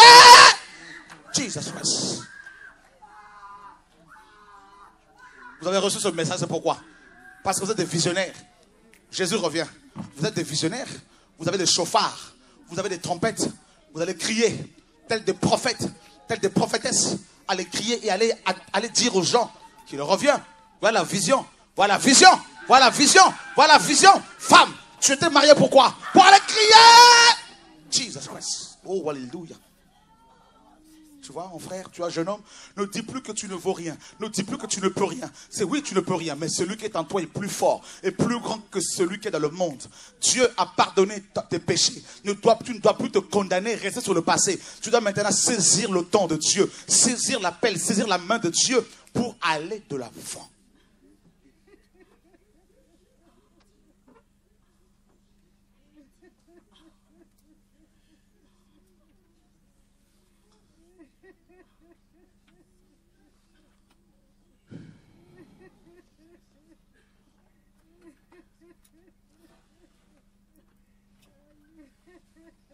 Waouh. Seigneur.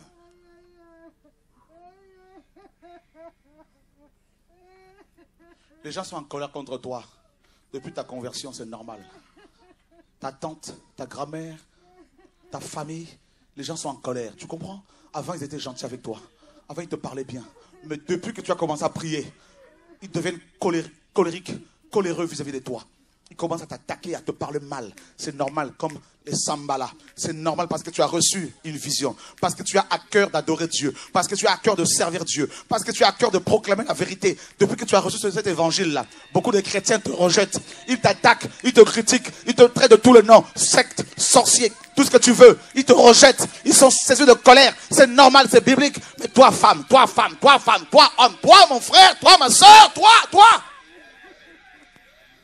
Tu ne dois surtout pas baisser les bras. Tu ne dois surtout pas faire marche arrière parce que tu es cette visionnaire, ce visionnaire que Dieu a préparé, que Dieu a appelé. Cette génération a besoin de toi, a besoin de la semence que tu as déposée en toi.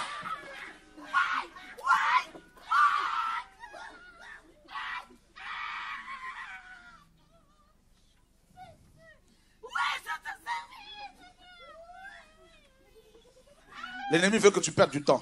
Tu as perdu du temps. Jeune fille, tu as perdu du temps. Tu as compris cela. Tu as compris cela. Maintenant, tu dois te lever et regarder à ton Seigneur, à ton amour, à ton amoureux, celui que tu aimes, celui que tu aimes, celui pour qui tu as donné ta vie. Jesus Christ.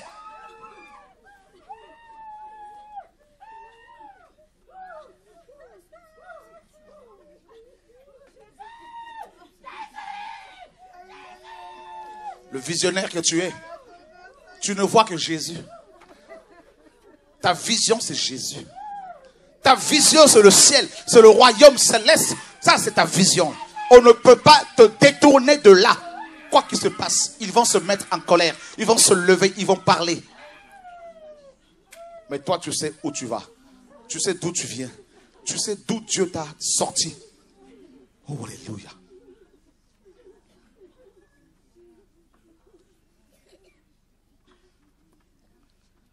L'opposition, c'est normal. Plus il y a l'opposition, oh, ta santé est menacée. Oh, des songes bizarres. Oh, les attaques nocturnes. Oh, les critiques, tout ça là, c'est normal. Parce qu'il y en a qui ne comprennent pas. Ouais, mais depuis que je prie, ma, ma vie a changé, je ne comprends plus rien. Tout ça, toutes ces attaques, ces choses. Mais c'est normal. C'est la vision. C'est normal. Ce que tu as mis en toi, ce que tu as reçu. Ça, c'est des ennemis. Plus les attaques sont grandes, plus l'appel est grand. Plus les attaques sont violentes, plus tu vas être puissamment utilisé par Dieu pour arracher les âmes de l'enfer, pour briser les chaînes de la mort, pour renverser des forteresses. Plus les ennemis se lèvent contre toi, plus les âmes seront gagnées. Plus les gens vont parler contre toi, plus Dieu va témoigner sur toi. Plus les gens vont t'insulter, plus Dieu va te consacrer, plus Dieu va témoigner de toi. C'est comme ça que ça se passe.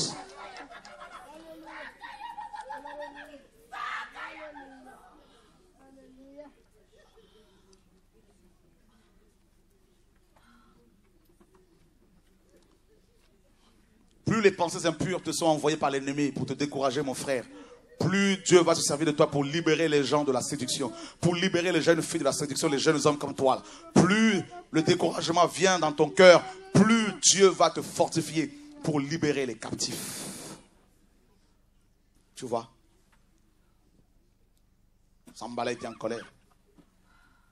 Tant que Néhémie n'avait pas répondu à l'appel, Sambala n'était pas en colère. Parce que son royaume était menacé. Et les gens qui se lèvent contre toi parce que leurs royaumes sont menacés. C'est pour cela. Rien que ta présence menace leurs affaires. Ta conversion menace leurs affaires. Parce que tu as reçu une vision. Et cette vision peut prendre de l'ampleur. Et doit prendre de l'ampleur. Et prendra de la- de l'ampleur pour la gloire de Yeshua, notre Maître, notre Seigneur. La vision. Voyez? Et Néhémie prie. Néhémie a prié. Oh notre Dieu, écoute comment nous sommes méprisés. Oui, ils étaient méprisés. Tout visionnaire que Dieu envoie est méprisé. Un prophète n'est méprisé que dans sa patrie. Ils vont te mépriser. Ils ont demandé au Seigneur de regarder comment ils étaient méprisés. Ne couvre point leur iniquité et que leur péché ne soit point effacé de devant ta face, car ils ont irrité les bâtisseurs. Tu es un bâtisseur? Tu es un bâtisseur? Tu dois le savoir, tu es un bâtisseur Tu bâtis quelque chose pour Dieu? Quand tu pries, là, tu bâtis. Quand tu jeûnes, tu bâtis. Quand tu proclames Jésus-Christ, tu bâtis. Quand tu pries pour les gens pour qu'ils soient délivrés, tu bâtis leur vie. Quand tu témoignes de Jésus-Christ, tu bâtis leur vie. Tu bâtis la vie des gens. Et en tant que bâtisseur, tant que la maison n'est pas achevée, tu ne dois pas te décourager. Non. Non. Non. Non. Tu as reçu un appel, tu as beaucoup de chants que Dieu te donne, mais il faut en recevoir encore plusieurs chants. Il faut que tu les mettes sur, écrit, que tu les mettes sur CD, que tu diffuses, de sorte que si un jour tu n'es plus là, les gens vont continuer à écouter ces chants, la gloire du Seigneur. Ça va continuer à adorer le Seigneur. Au travers de tes cantiques, les gens vont se convertir alors que tu n'es plus là, tu es dans le royaume céleste. C'est ça le royaume, c'est ça la vision. Même après ta mort, les œuvres que tu auras faites continueront à témoigner du Seigneur, à, à, à gagner des âmes dans le royaume de Dieu. Mais quand Sambala et Tobija, les Arabes, les Ammonites et les Asdoniens, eurent appris que la muraille de Jérusalem avait été refaite et qu'on avait commencé à fermer les brèches, ils s'enflammèrent de colère. Et ils se liguèrent tous ensemble pour venir faire la guerre contre Jérusalem et pour le faire échouer. Waouh! Et là, ce n'était plus seulement un arabe, mais les arabes.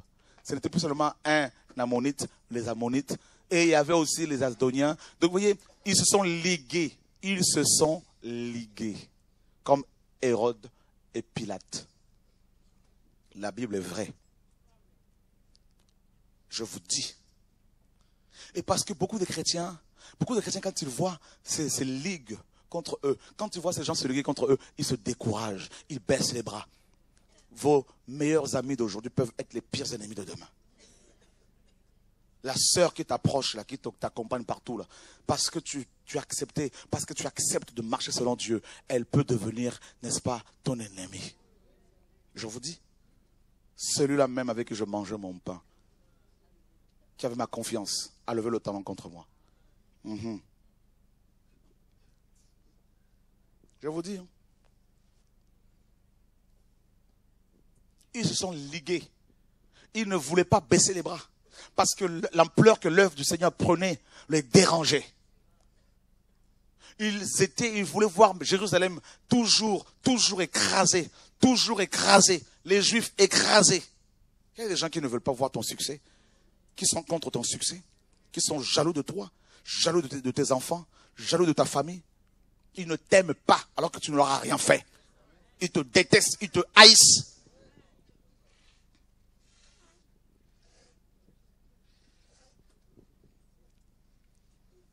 Tu vois? Depuis que tu t'es converti, tu te retrouves seul.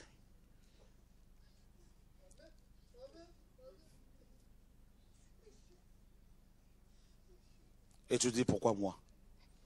Seigneur, pourquoi tout ça? Ce rejet, cette souffrance. Et tu ne sais pas, parfois tu ne sais pas qui parler.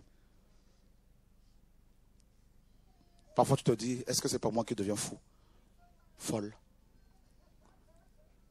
Oh, tu exagères. Les gens te disent, te parlent comme ça. Ils se sont ligués. Ils se sont ligués. Alors nous priâmes notre Dieu et nous établîmes une garde contre eux, jour et nuit, à cause d'eux. Et Judas disait, la force des ouvriers est affaiblie. Il y a beaucoup, il y a beaucoup de débris, en sorte que nous ne pourrons pas bâtir la muraille. Et nos ennemis disaient, qu'ils n'en sachent rien et qu'ils ne voient rien jusqu'à ce que nous entrions au milieu d'eux. Nous le tuerons et ferons ainsi cesser l'ouvrage. Waouh! C'est terrible. Hein? Ils ont voulu s'infiltrer. En tant que visionnaire, les gens chercheront à vous infiltrer. Ils viendront. Ils viendront. Regarde, on est tellement naïfs. Tu te convertis, tu vas dans une assemblée, et un homme qui vient qui te dit je t'aime mais tu n'as pas pris vraiment du temps pour prier. Peut-être que c'est l'homme que Satan t'a envoyé pour te faire perdre ton temps. Et toi, tu n'as pas, pas eu le discernement. Tu t'engages et tu es sorti de la vision du Seigneur. Tu as perdu du temps. Tu perds encore du temps. Jésus revient, toi tu perds du temps. Là, j'avance. Tu vois? On est trop naïf.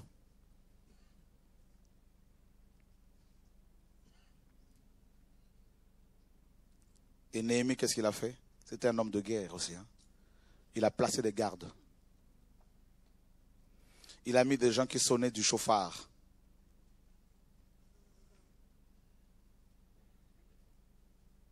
Au verset 17 du chapitre 4, il est dit, ceux qui bâtissaient la muraille et ceux qui portaient ou chargeaient les fardeaux travaillaient chacun d'une main et de l'autre, ils tenaient une arme.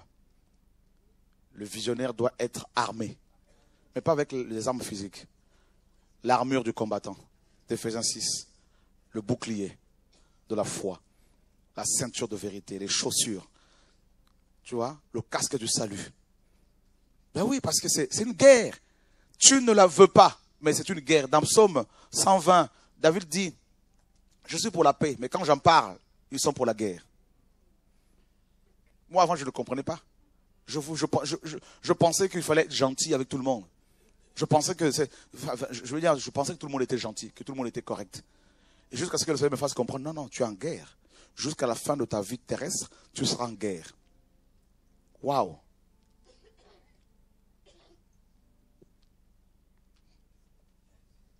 Le visionnaire doit, un visionnaire qui ne comprend pas qu'il est en guerre, il mourra avant.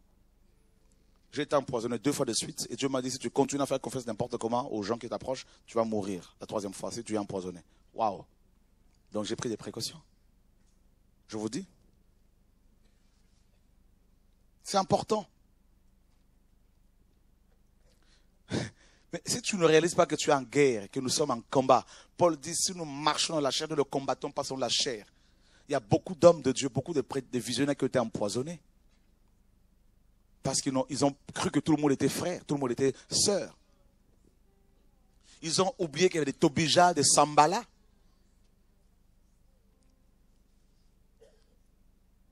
Peut-être même que tu es fiancé à un Tobija. Sambala. Ah, je vous dis, hein. on rigole, mais il y a des gens qui pleurent. Hein. Tu vois les témoignages.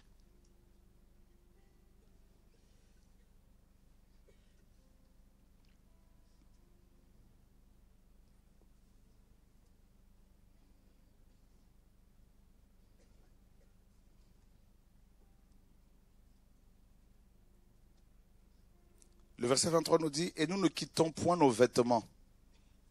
Ni moi, ni mes frères, ni mes serviteurs, ni les hommes de garde qui me suivaient. Chacun n'avait que ses armes et de l'eau. Ah, ah. L'arme, les armes, l'eau, la parole, les vêtements, vêtements de justice. Voyez?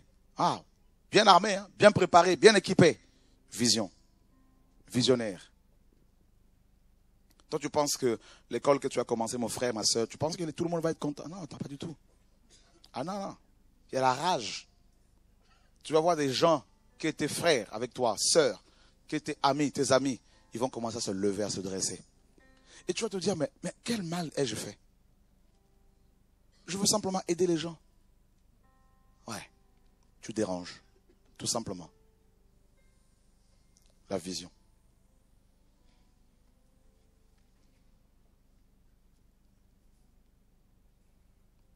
Néhémie a souffert. Hein. Regardez le chapitre 6.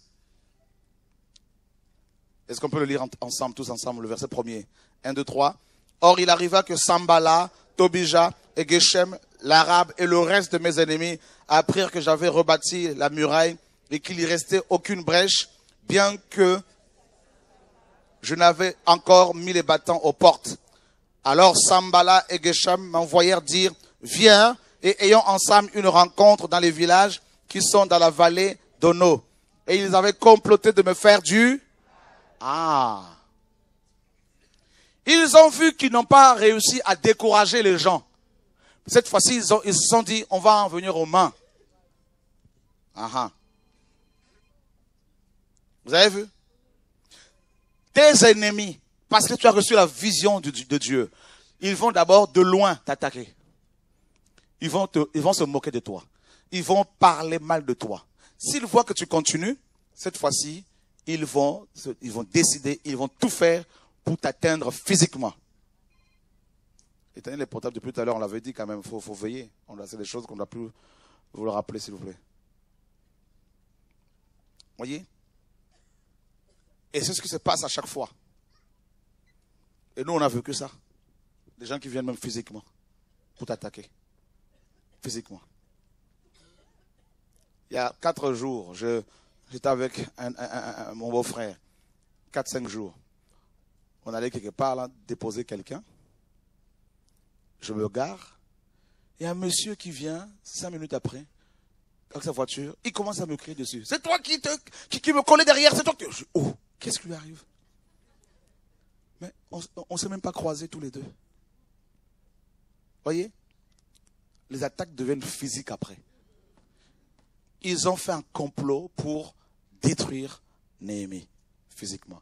Si tu n'es pas prudent, ça peut t'arriver.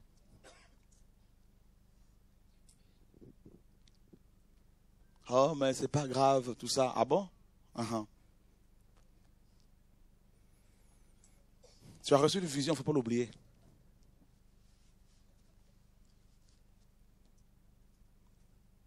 Et ta vision, c'est laquelle? Celle de délivrer les gens? Tu penses que Satan va euh, rester les bras croisés? Hmm. Ils vont te mettre du poison s'ils n'arrivent pas. Ils vont tout faire. Ils vont faire des montages pour, t'atteindre. Ils vont faire des complots. Ils vont s'asseoir. Ils vont étudier toutes sortes de, stratégies à mettre en place, de stratagèmes, tout ça pour t'atteindre, pour te salir. Ça va vous arriver si vous voulez véritablement servir le Seigneur.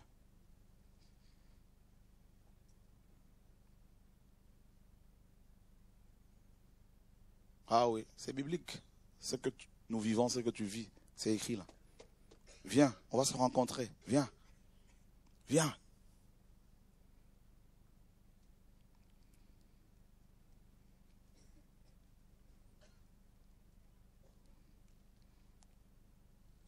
Mais j'ai envoyé des messagers vers eux pour leur dire, j'ai un grand ouvrage à faire et je ne puis descendre.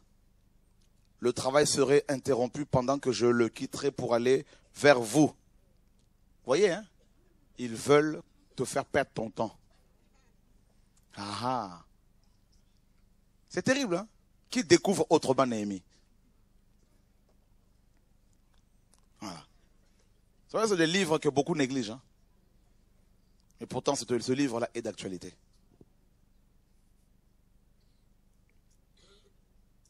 Néhémie ne s'est pas laissé faire. Il, avait un objectif à atteindre. Tant que tu n'as pas achevé la mission, ne laisse personne te distraire. Non. Vous savez, chez moi, je ne reçois plus les gens qui viennent pour me raconter des histoires sur les frères, mais j'ai plus le temps. Je n'ai plus ce temps-là. Oh, tu sais un tel, tu sais. Ah bon? Toi, tu es encore là? Tu ne fais aucune œuvre. Ta vie, c'est parler sur les autres du matin au soir. C'est ça, ta langue. Et tu as fait quoi comme œuvre là? Rien. Depuis ta conversion. Ce n'est que tuer. Aucune œuvre. Quand est-ce que tu as pris l'argent pour aller prendre à manger, la donner aux pauvres là-bas? Quand est-ce que tu as pris des billes pour aller donner, distribuer aux gens? Vous allez dans les assemblées pour vous asseoir et parler seulement. Ah, mais t'as as vu un tel, t'as vu un tel, t'as vu un tel. Ah, ben voilà, ça c'est une œuvre de destruction. C'est terrible. Hein.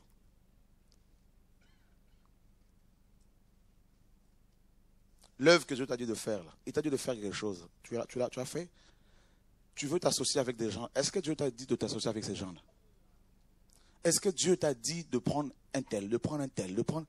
on est tellement parfois dans la chair. Moi, je suis passé par là aussi. Hein. Attention. On a pris des tobijas, des sambala, on a pris des, mélanges bizarroïdes.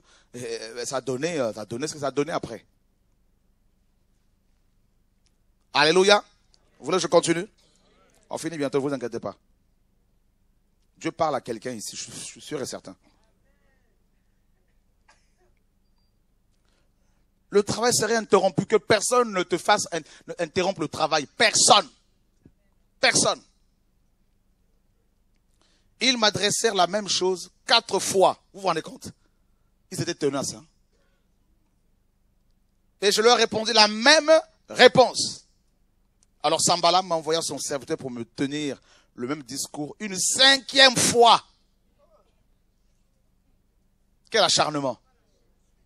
Hein? Il y était écrit, on entend dire parmi les nations que et, Gashmir le dit, que vous pensez, toi et les Juifs, à vous révolter et que c'est pour cela que tu rebâtis la muraille. Et tu vas, dit-on, devenir leur roi. Et que tu as même établi des prophètes pour te proclamer à Jérusalem et pour dire, il est roi de Juda. Et maintenant, on fera entendre au son, euh, au roi ces mêmes choses. Viens donc afin que nous consultions ensemble.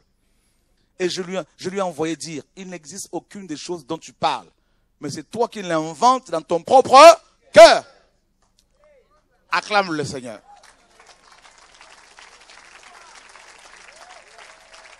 Waouh Tout est écrit.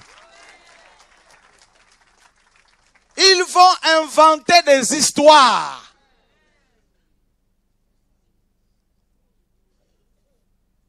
Et si tu n'as pas le discernement, tu dis, ah, c'est vrai, c'est vrai, c'est vrai. Tobija a essayé par tous les moyens. D'abord, par l'intimidation. Il n'a pas réussi. Les moqueries, tout ça, il n'a pas réussi. Ensuite, il voulait en venir aux mains, physique, physique il n'a pas réussi. Et cette fois-ci, il vient par la ruse. Oh, j'ai entendu dire que tu veux être roi. Alors viens, s'il te plaît, on va discuter. Tu sais, machin, viens, viens, viens. Tout ça. Il a inventé des choses. Et tu as même établi des prophètes tout ça. Viens, on va discuter. Et Néhémie dit, tu l'as, tu l'as inventé. Beaucoup de gens sont sortis de la vision du Seigneur parce qu'ils ont cru au mensonge. Oh, on parle trop mal de cette sœur, alors je ne veux plus être avec elle. Tu passes à côté. par manque de discernement.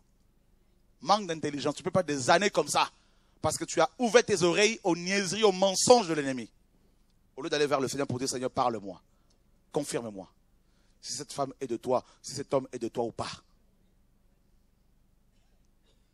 Qui réalise que Dieu lui parle ce soir?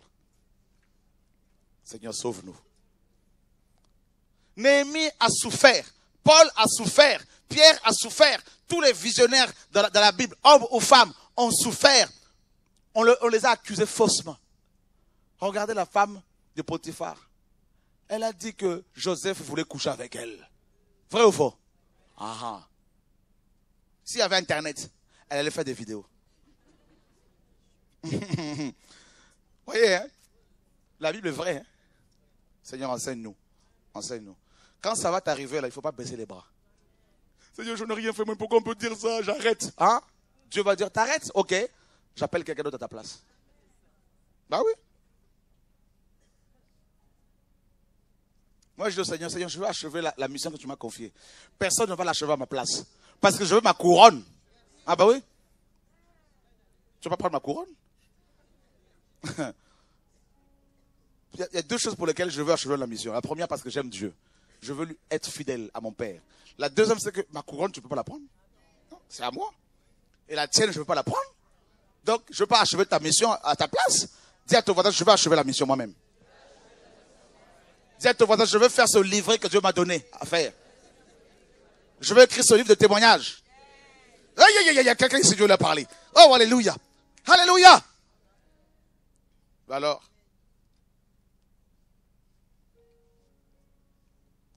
est-ce que c'est vraiment Dieu qui m'a parlé? Il te dit, c'est moi. C'est la confirmation que tu attendais. Oh, Jesus Christ, alléluia. Il est ton Père? Oh, Seigneur. Oh, Jésus. N'écoute pas les gens qui ont dit, mais tu sais, mais non, non, mais fais. Fais. Fais. Balance le message. Diffuse le message. Parle, femme. Parle, fille. Parle, femme de Dieu. Tu es ma fille. Tu es ma fille. Tu es ma bien-aimée chérie. Tu es mon bien-aimé chéri. Jesus. Jesus. Jesus. Jesus.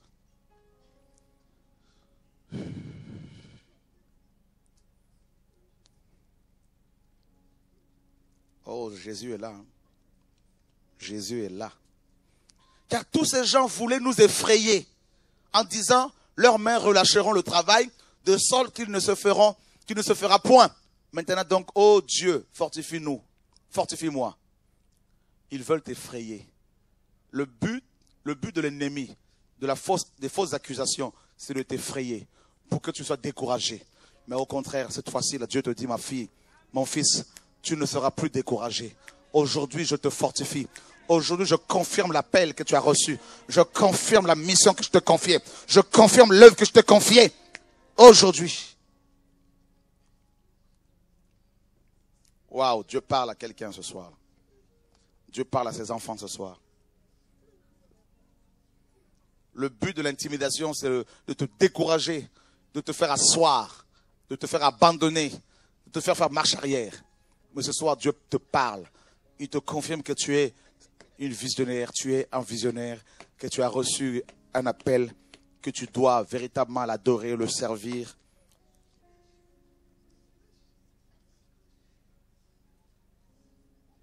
Et Néhémie dit, je me rendis à la maison de Shemaja, fils de Delaja, fils de Meyatabel, il s'était enfermé et il me dit, rencontrons-nous dans la maison de Dieu, au milieu du temple, et fermons les portes du temple, car ils doivent venir pour te tuer, et ils viendront pendant la nuit pour te tuer. Voyez l'intimidation? Mais je répondis, un homme tel que moi s'enfuirait-il? Et quel homme tel que moi pourrait entrer dans le temple pour sauver sa vie? Je n'y entrerai point. Et voilà, je reconnus bien que Dieu ne l'avait point envoyé mais qu'il avait prononcé cette prophétie contre moi parce que Sambala est obligé, lui avait donné de l'argent. Oh Jésus. Ils ont, quand, ils ont vu qu'ils n'ont pas pu atteindre Néhémie par ces, tous ces moyens, ils ont utilisé maintenant la prophétie. Des faux prophètes viendront. Dieu m'a dit qu'il faut pas faire ça. Dieu m'a dit, j'ai reçu qu'il faut pas dénoncer. Je dis quoi? Toi, Dieu t'a parlé, soi-disant. Moi, la Bible, ma parole, la parole de Dieu dit. Ils viendront te voir avec des prophéties. Non, mais tu sais, ma sœur, je dormais, j'ai eu un songe. Dieu dit que c'est pas bien de faire ça. Ma sœur, Dieu t'a parlé, fais. Quand Dieu t'a parlé, aucun prophète n'était là, n'était là. Aucun apôtre n'était pas, n'était là. Aucun pasteur n'était là. Tu étais seul avec Dieu. Ils ont utilisé la fausse prophétie pour te décourager. Ils vont se servir des fausses visions, des faux frères, des faux, des faux. Oh, alléluia. Si tu n'es pas dans le, pas le discernement, là, tu vas écouter les fausses prophéties et tu te feras avoir. Combien n'ont pas essayé hier de m'avoir avec des prophéties charnelles? Oh, Dieu a dit, Dieu a dit, Dieu a dit, Dieu a dit, Dieu a dit. Je dis non, Dieu n'a pas dit. Moi, Dieu m'a parlé. Oh, il n'écoute pas, ce n'est pas un problème. Je ne veux pas vous écouter. Non. Non. Je veux obéir au Seigneur. Tu vois? On a donné de l'argent aux faux prophètes pour détruire la vision de Néhémie. Il y a des gens qui seront payés pour te détruire.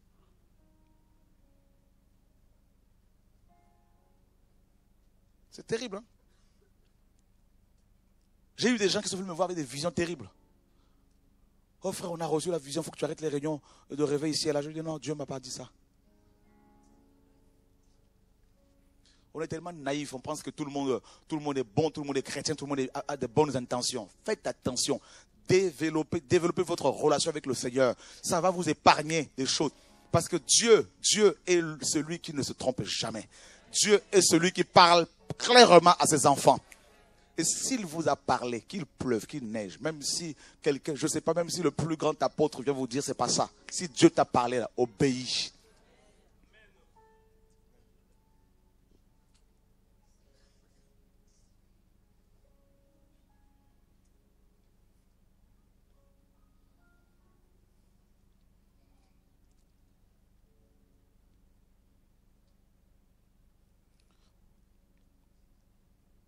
Car il était leur pensionnaire pour m'épouvanter et pour m'obliger à agir de la sorte et à commettre cette faute afin qu'ils aient quelques mauvaises choses à me reprocher. Vous voyez?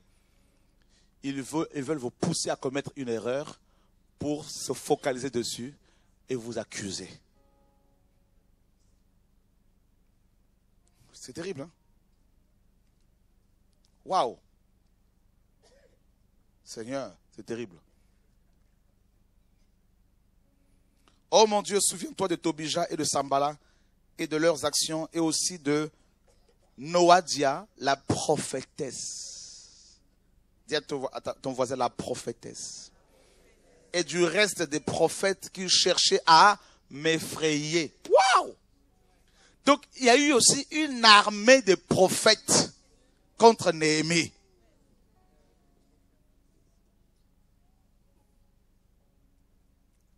Je vais vous dire pourquoi. Posez-moi la question, pourquoi Satan s'était acharné ainsi contre cet homme? Vous voulez le savoir? Jésus-Christ va revenir où? À Jérusalem. Il va régner où? À partir de Jérusalem. Et Jérusalem est la ville du grand roi. Donc Satan, en attaquant Néhémie comme ça, attaquer le règne de Jésus-Christ. Waouh, Seigneur.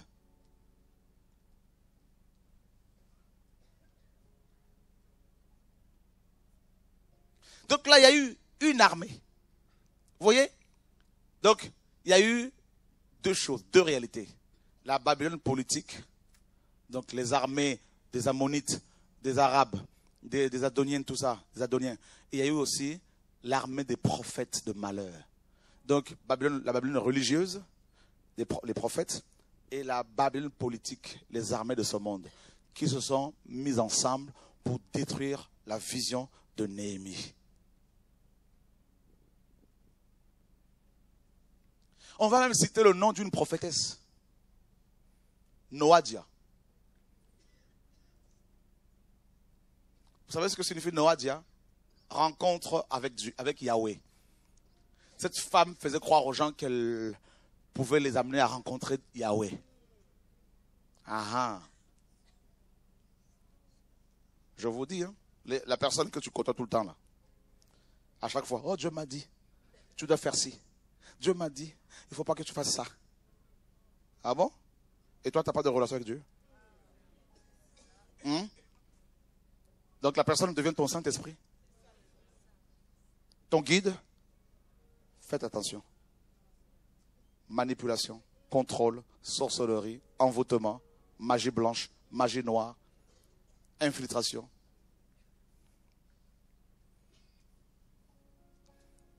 Voilà ce que je crois avoir reçu, je te le soumets, mais fais ce que Dieu te dit.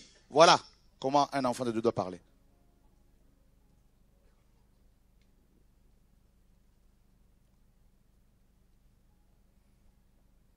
Les prophètes sont venus. Néhémie, oui, ne fais pas ça, ne fais pas ci. Dieu nous a dit, Dieu nous a dit. Néhémie dit, non mais quand moi j'ai reçu la vision, vous étiez où? Frère, j'en ai reçu un paquet, hein. c'est pas fini. Hein. Des apôtres, des prophètes, des docteurs, des, mais de tout. Il y en a qui sont là, qui sont là, il ne faut pas croire, ils sont là. Ils vont vous attraper à la fin de la réunion pour vous donner des fausses prophéties. Ah ben tu sais, toi ma soeur, tu seras ci, tu, seras, tu feras telle chose. Faites attention. Ça vous tue, ça vous gonfle. Des prophètes des malheurs. Ils, se, ils profitent les coulisses. Ils attrapent les âmes dans, les- dans le secret pour les détruire. Ils sont là. Faut pas croire? Tout le monde ici n'est pas de Dieu. Hein. Ah, je le sais. C'est pas une église. C'est une plateforme. On crie, chacun après se débrouille.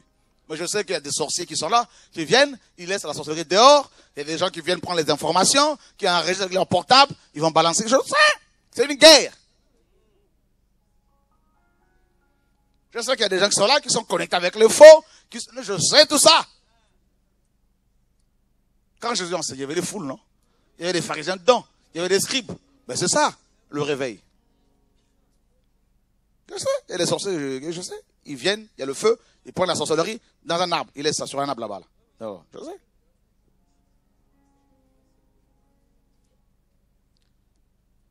Ils voient les étoiles que vous avez, la grâce. Alors ils viennent, tu sais, ma soeur, toi tu es une prophétesse, ça te gonfle. Et tac, tu, tu deviens orgueilleuse, tu meurs.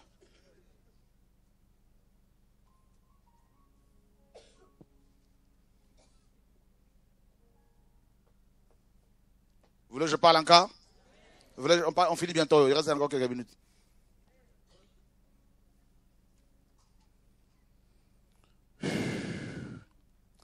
Néanmoins, il veut l'effrayer, hein.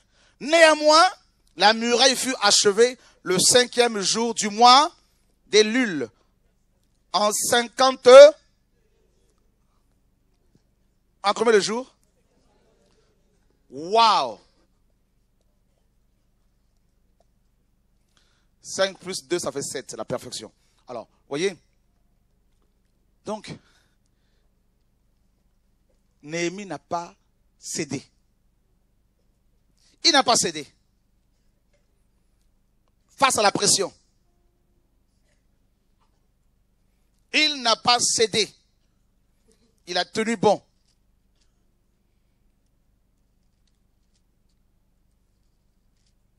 Regardez.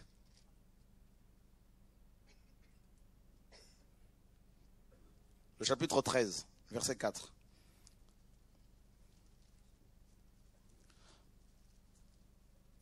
Or, avant que ceci arrive, Eliashib, prêtre établi sur les chantres, sur les chambres de la maison de notre Dieu, s'était allié à qui?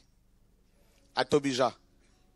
Et lui avait disposé une grande chambre où on mettait auparavant les offrandes, l'encens, les ustensiles, les dîmes, du blé, du vin et de l'huile qui étaient ordonnés pour les lévites, pour les chantres et pour les portiers, et avec les contributions pour les prêtres. Mon Dieu, il y a toujours des traîtres. Hein? Dis à ton voisin, des traîtres. Mhm. Vous allez voir, frères et sœurs, il y avait même,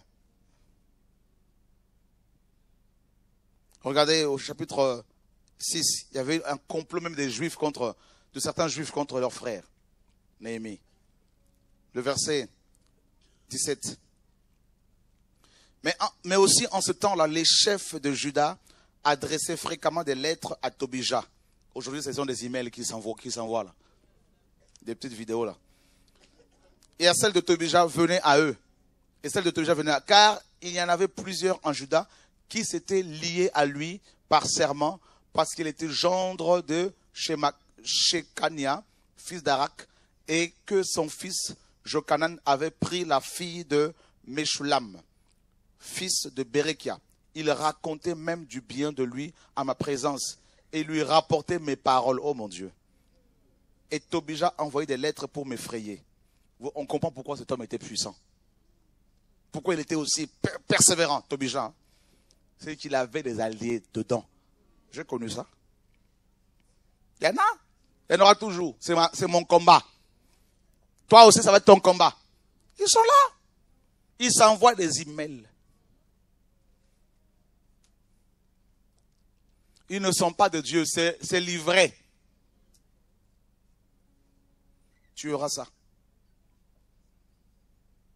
Ils se sont, liés par des mariages, n'est-ce pas, par des, des alliances antichrist. Tout ça parce que tu as reçu la vision. J'ai vu des pasteurs mourir avant parce qu'ils n'avaient pas compris qu'ils étaient visionnaires et qu'ils étaient aussi en guerre. Je les ai vus mourir physiquement, d'autres spirituellement. J'ai vu des frères qui avaient la vision du Seigneur, des femmes qui avaient des visions, une vision forte du Seigneur pour renverser des forteresses, pour délivrer des millions de personnes. Je les ai vus perdre la vision parce qu'elles étaient blessées, elles, elles n'avaient pas prêté attention aux attaques de l'ennemi. Elles avaient, pardon, aux, à l'interprétation du Seigneur, à l'interpellation du Seigneur quand Dieu les interpellait. Et ils se sont, n'est-ce pas, alliés à des mauvaises personnes. Ils ont tout perdu, hommes ou femmes. C'est terrible. La vision, les visionnaires. Néhémie a achevé la course. Pour finir, tu veux correctement finir la mission que le Seigneur t'a confiée, qu'il va te confier demain, ou aujourd'hui, je ne sais pas quand? Eh bien, si tu l'as reçu en tout cas, cette vision-là, tu dois choisir les gens avec qui tu vas traîner, avec qui tu vas marcher. Ne subis pas l'amitié des gens. Ça, c'est un conseil que je vous donne. D'accord? Avant, je ne comprenais pas ce principe. La parole dit, celui qui traîne avec les sages devient sage. Dis-moi avec qui tu traînes et je te dirai qui tu es. En tant que visionnaire, tu es un aigle. L'aigle a une vision perçante. L'aigle voit de loin. L'aigle est un solitaire. Il chasse en général seul. Il ne mange pas de la nourriture pourrie. Non. Il ne mange que ce qu'il a, a, tué lui-même. Et l'aigle n'est pas polygame. Il est monogame. Et toujours avec la même femme. Jusqu'à la fin de sa vie. Et souvent, il va s'enfermer dans les hauteurs.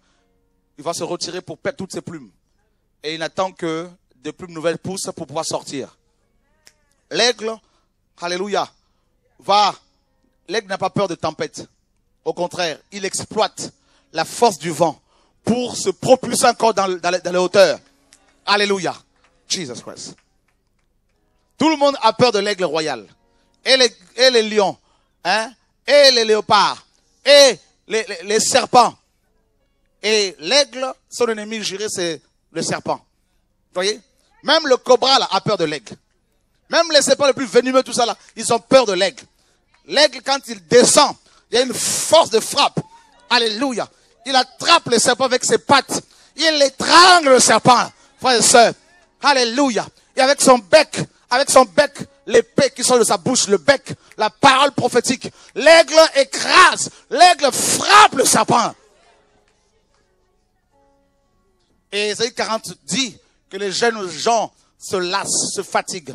Mais ceux qui se confient à Yahweh, ceux qui s'attendent à Yahweh, Alléluia, renouvellent leur force. Hey! Il y a un renouvellement d'onction. Il y a un renouvellement de dents. Il y a un renouvellement de puissance. Alléluia. Jesus Christ. Il y a quelque chose de nouveau ici. Il y a un manteau nouveau pour toi. Il y a une onction nouvelle pour toi. Il y a une onction prophétique pour toi. Il y a quelque chose de fort ici. Il y a un renouvellement. Dans la prière, tu vas prier de nouveau. Comme avant, Tu vas prier de nouveau comme avant. Marc, voici l'onction sur toi, fort. Jesus. Oh. Tu renouvelles ta force. Tu renouvelles tes armes. Tu renouvelles ta prière. Tu renouvelles la crainte de Dieu que tu avais quand tu t'es converti.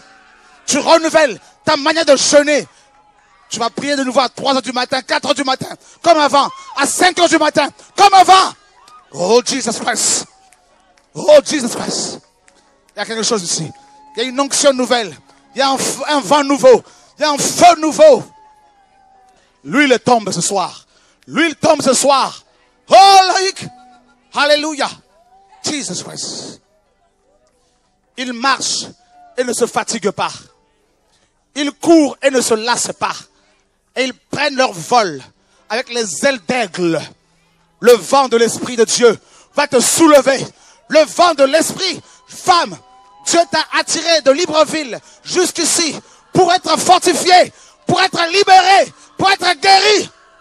Tu es ma guerrière. Tu es ma guerrière. Tu es ma guerrière. Tu es ma prophétesse. Tu es ma prophétesse. Tu es ma prophétesse. Voici le feu.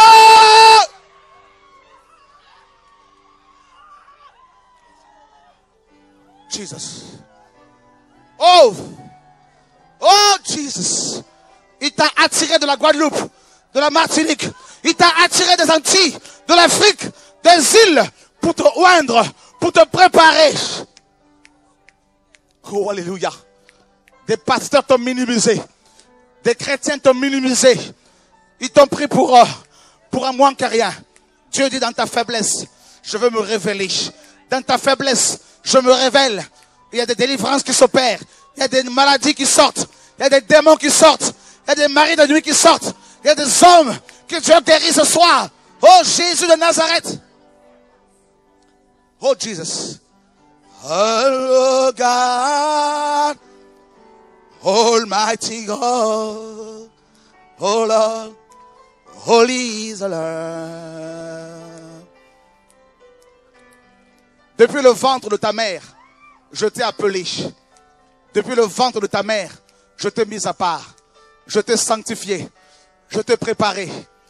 Tu es la visionnaire que je, que j'ai établie. C'est pour plusieurs générations que je t'appelle. Plusieurs générations. Plusieurs générations. Plusieurs générations.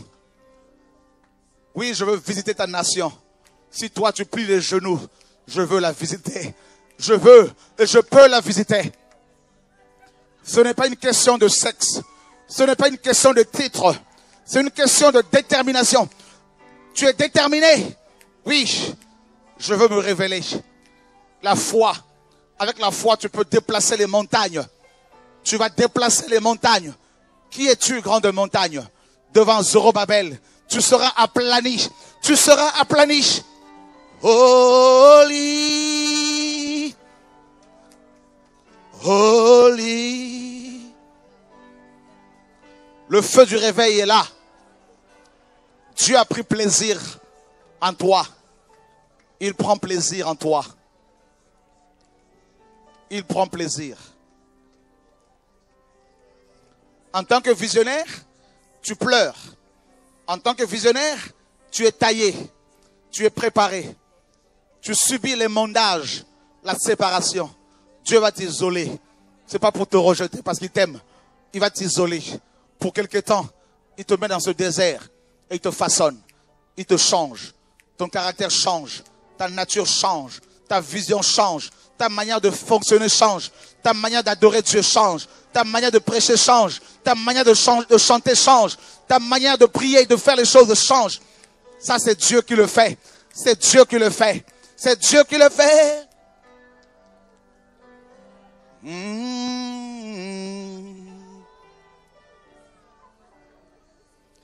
Dieu a besoin de toi. Il a besoin de ton corps.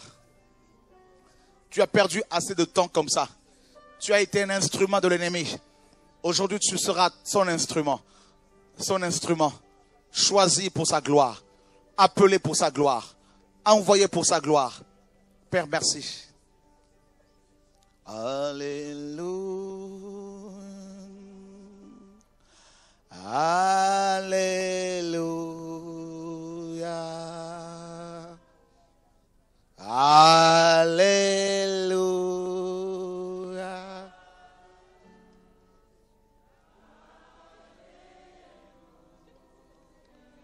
L'armée de Néhémie se lève pour le Seigneur.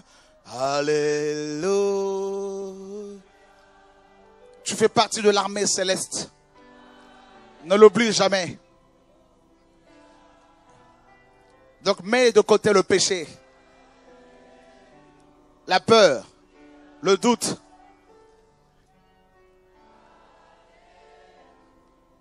La vision que je t'ai donnée s'accomplira. Merci Jésus. Il donnera les finances. Ne t'inquiète pas pour les finances. Merci Jésus.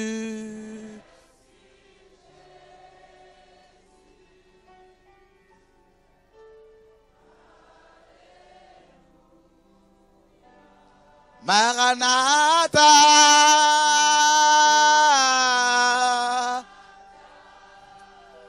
Maranatha.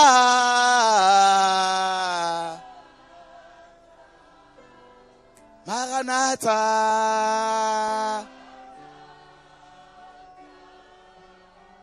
Oh Seigneur. On monte. Alléluia. Alléluia. Alléluia. Alléluia.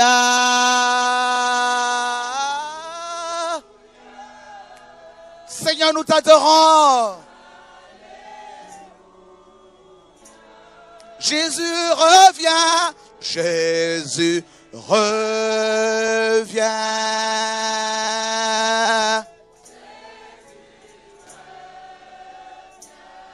Il revient.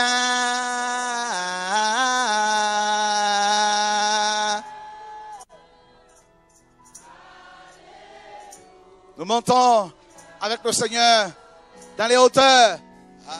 Alléluia.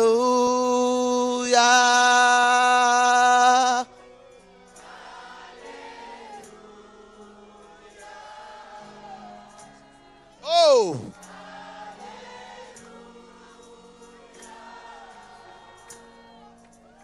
Oh. Oh, Alléluia. Jésus guérit. Jésus délivre. Jésus sauve. Jésus restaure. Alléluia. Oh. Que ma soeur soit complètement guérie, délivrée, restaurée. Seigneur, nous voici. Seigneur, nous voici devant toi, devant toi, pour t'adorer, pour t'adorer, d'un cœur sincère. Seigneur, nous voici, Seigneur, nous voici. Pour t'adorer, pour t'adorer, d'un cœur sincère.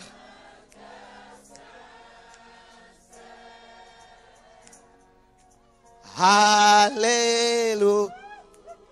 Encore une dernière fois, Seigneur, nous voici. Nous voici. Pour t'adorer. d'un cœur sincère. Oh. Le Seigneur te dit, ma fille, je pardonne tes péchés, car je suis le Dieu d'amour. Mais ne fais plus marche arrière. Tu as perdu beaucoup de temps à cause des hommes. Je te veux devant mon trône. Je te veux devant moi.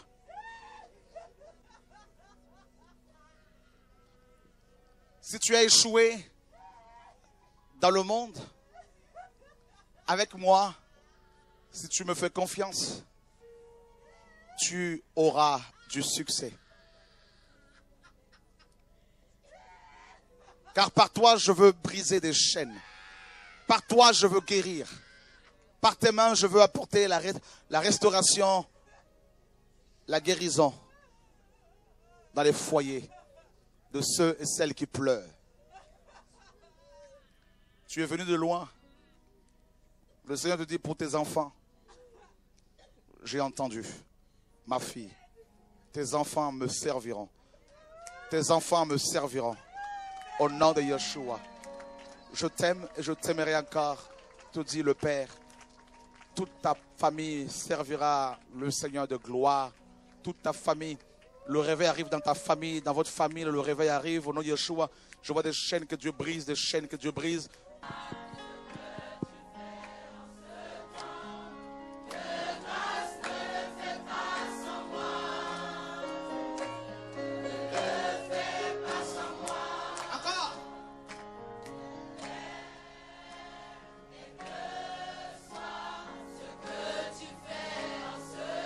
De grâce. Jamais, jamais.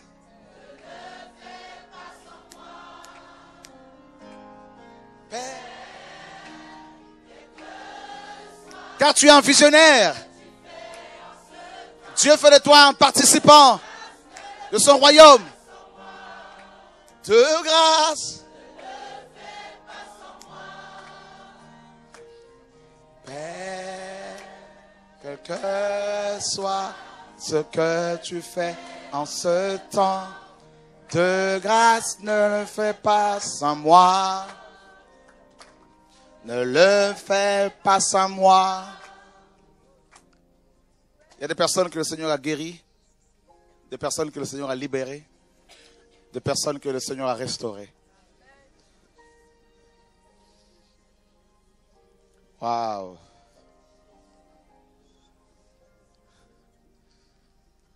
N'a pas encore reçu son baptême. Tu veux prendre ton baptême, frère, ton baptême? Tu veux le baptême? Viens, on acclame le Seigneur pour lui. Waouh.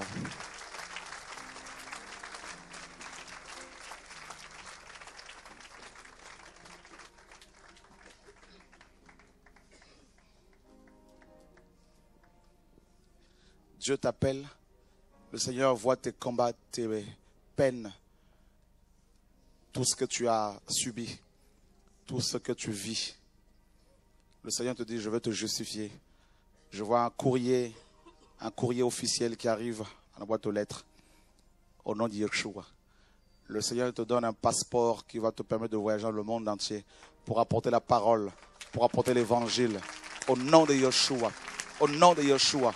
Dieu te sauve. Alléluia. Gloire à Dieu, Seigneur. Merci pour mon frère. Oh, Alléluia. Baptême. Le baptême. Venez, on acclame le Seigneur pour eux. Alléluia. Gloire à Dieu. Gloire à Dieu. Seigneur, merci pour ces jeunes gens. Oh, Seigneur, merci. Alléluia. Il y a une onction sur, sur eux. Oh, quelle onction sur lui là. Regarde-moi ça, la puissance de Dieu. Waouh, Saint-Esprit, merci. Aide-le. Il y a une onction sur les deux là. Waouh, waouh, waouh. On acclame le Seigneur, on acclame le Seigneur. C'est beau. C'est beau. C'est beau. Waouh. Ce sont des prédicateurs de la parole de Dieu, frères et sœurs. Waouh. Le Seigneur est magnifique, frères et sœurs. Regarde-moi ça là. Il y a une telle onction ici. Oh, waouh. Mes amis. Le baptême. Oh, le Seigneur est beau, le Seigneur est beau, le Seigneur est bon, le Seigneur est magnifique. Oh, Jesus Christ. Oh, Seigneur, merci. Toute ta famille, la délivrance de toute ta famille à partir de ce soir-là est actée, est actée, est actée, est accomplie, accomplie, actée. Au nom de Yeshua. Au nom de Yeshua. C'est bon. Le baptême, le baptême, le baptême, c'est magnifique. Je peux suivre le frère là-bas, on va aller au baptême là-bas. Là. Waouh. Ça vous amène au baptême. C'est beau, c'est magnifique.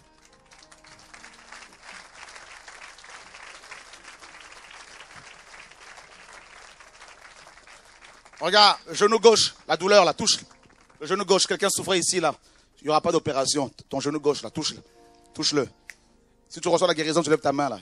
La, douleur s'en va, là. Là où je parle, là. Tu touches comme ça, comme moi, là. Ça finit. C'est fini. Ça, ça part, là. Oh, alléluia, gloire à Dieu. C'est toi?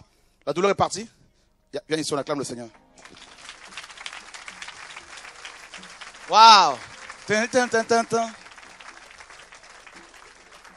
C'est magnifique ce que Dieu fait. Depuis quand tu avais cette douleur-là Ça fait au moins, euh, je sais pas, 6 ans, 10, 7 ans, 8 ans. C'est parti. Franchement, j'ai fait des radios dernièrement. Le médecin m'a dit il n'y a plus rien à faire. L'arthrose a tout mangé, il n'y a plus rien à faire. Et là? Et là, euh, je soulève la jambe, je ne pouvais pas aujourd'hui. Je pouvais-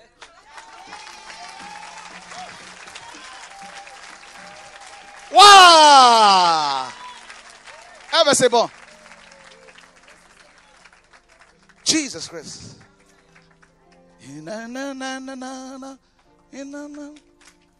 Regarde l'oreille droite, l'oreille droite, l'oreille droite, l'oreille droite.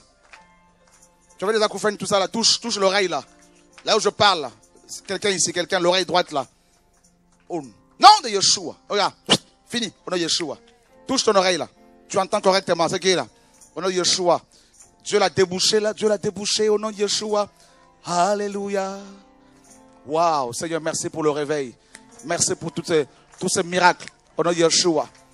L'oreille là, j'entends quelqu'un là, au nom de Yeshua, Alléluia, gloire à Dieu. Et douleur au niveau de l'estomac, pareil, quelqu'un ici. L'estomac, l'estomac, l'estomac, l'estomac. C'est qui? C'est réglé au nom de Yeshua. C'est quoi? Ah? T'as plus de chaise? Elle est partout ta chaise.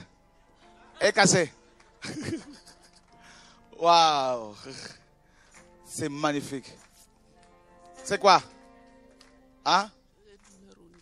Ah? c'est. C'est réglé. Et de là. Thérèse. Qui connaît Thérèse ici? Qui est Thérèse ici là? Il y a Thérèse là. Ça ne pas de Thérèse là. C'est qui? C'est toi Thérèse? Viens ici. On acclame le Seigneur. Alléluia. Personne, personne, personne. Personne n'est comme Jésus. Personne n'est comme Jésus. Jésus. Jésus. Jésus. Jésus. Jésus. Personne n'est comme Jésus. Personne. Tu es marié? Tu as des enfants? Dieu te donne une grande maison. Une grande maison. Il répond à sa prière.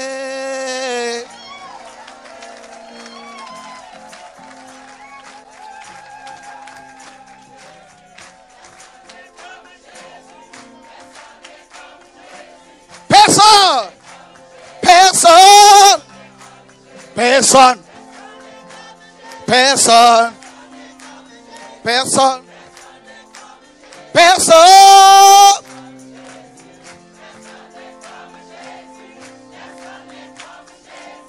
Personne n'est comme Jésus. Voici, il vient. Comment? Comment? Oh oui. Oh C'est quoi La délivrance? Voici, voici comment. Oh oui. Jésus. Oh oui.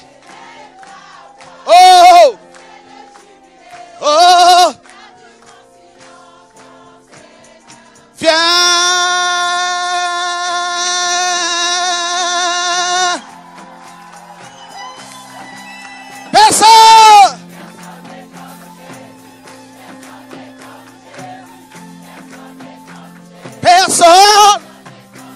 Personne Oh personne Personne Personne Personne Il touche les Ivoiriens.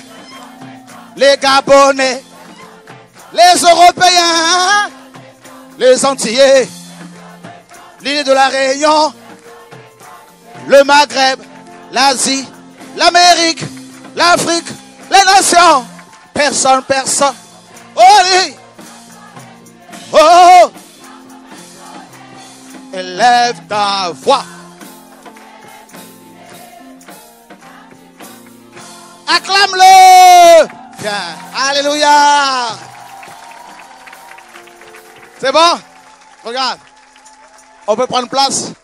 Tu vois comment Dieu te connaît.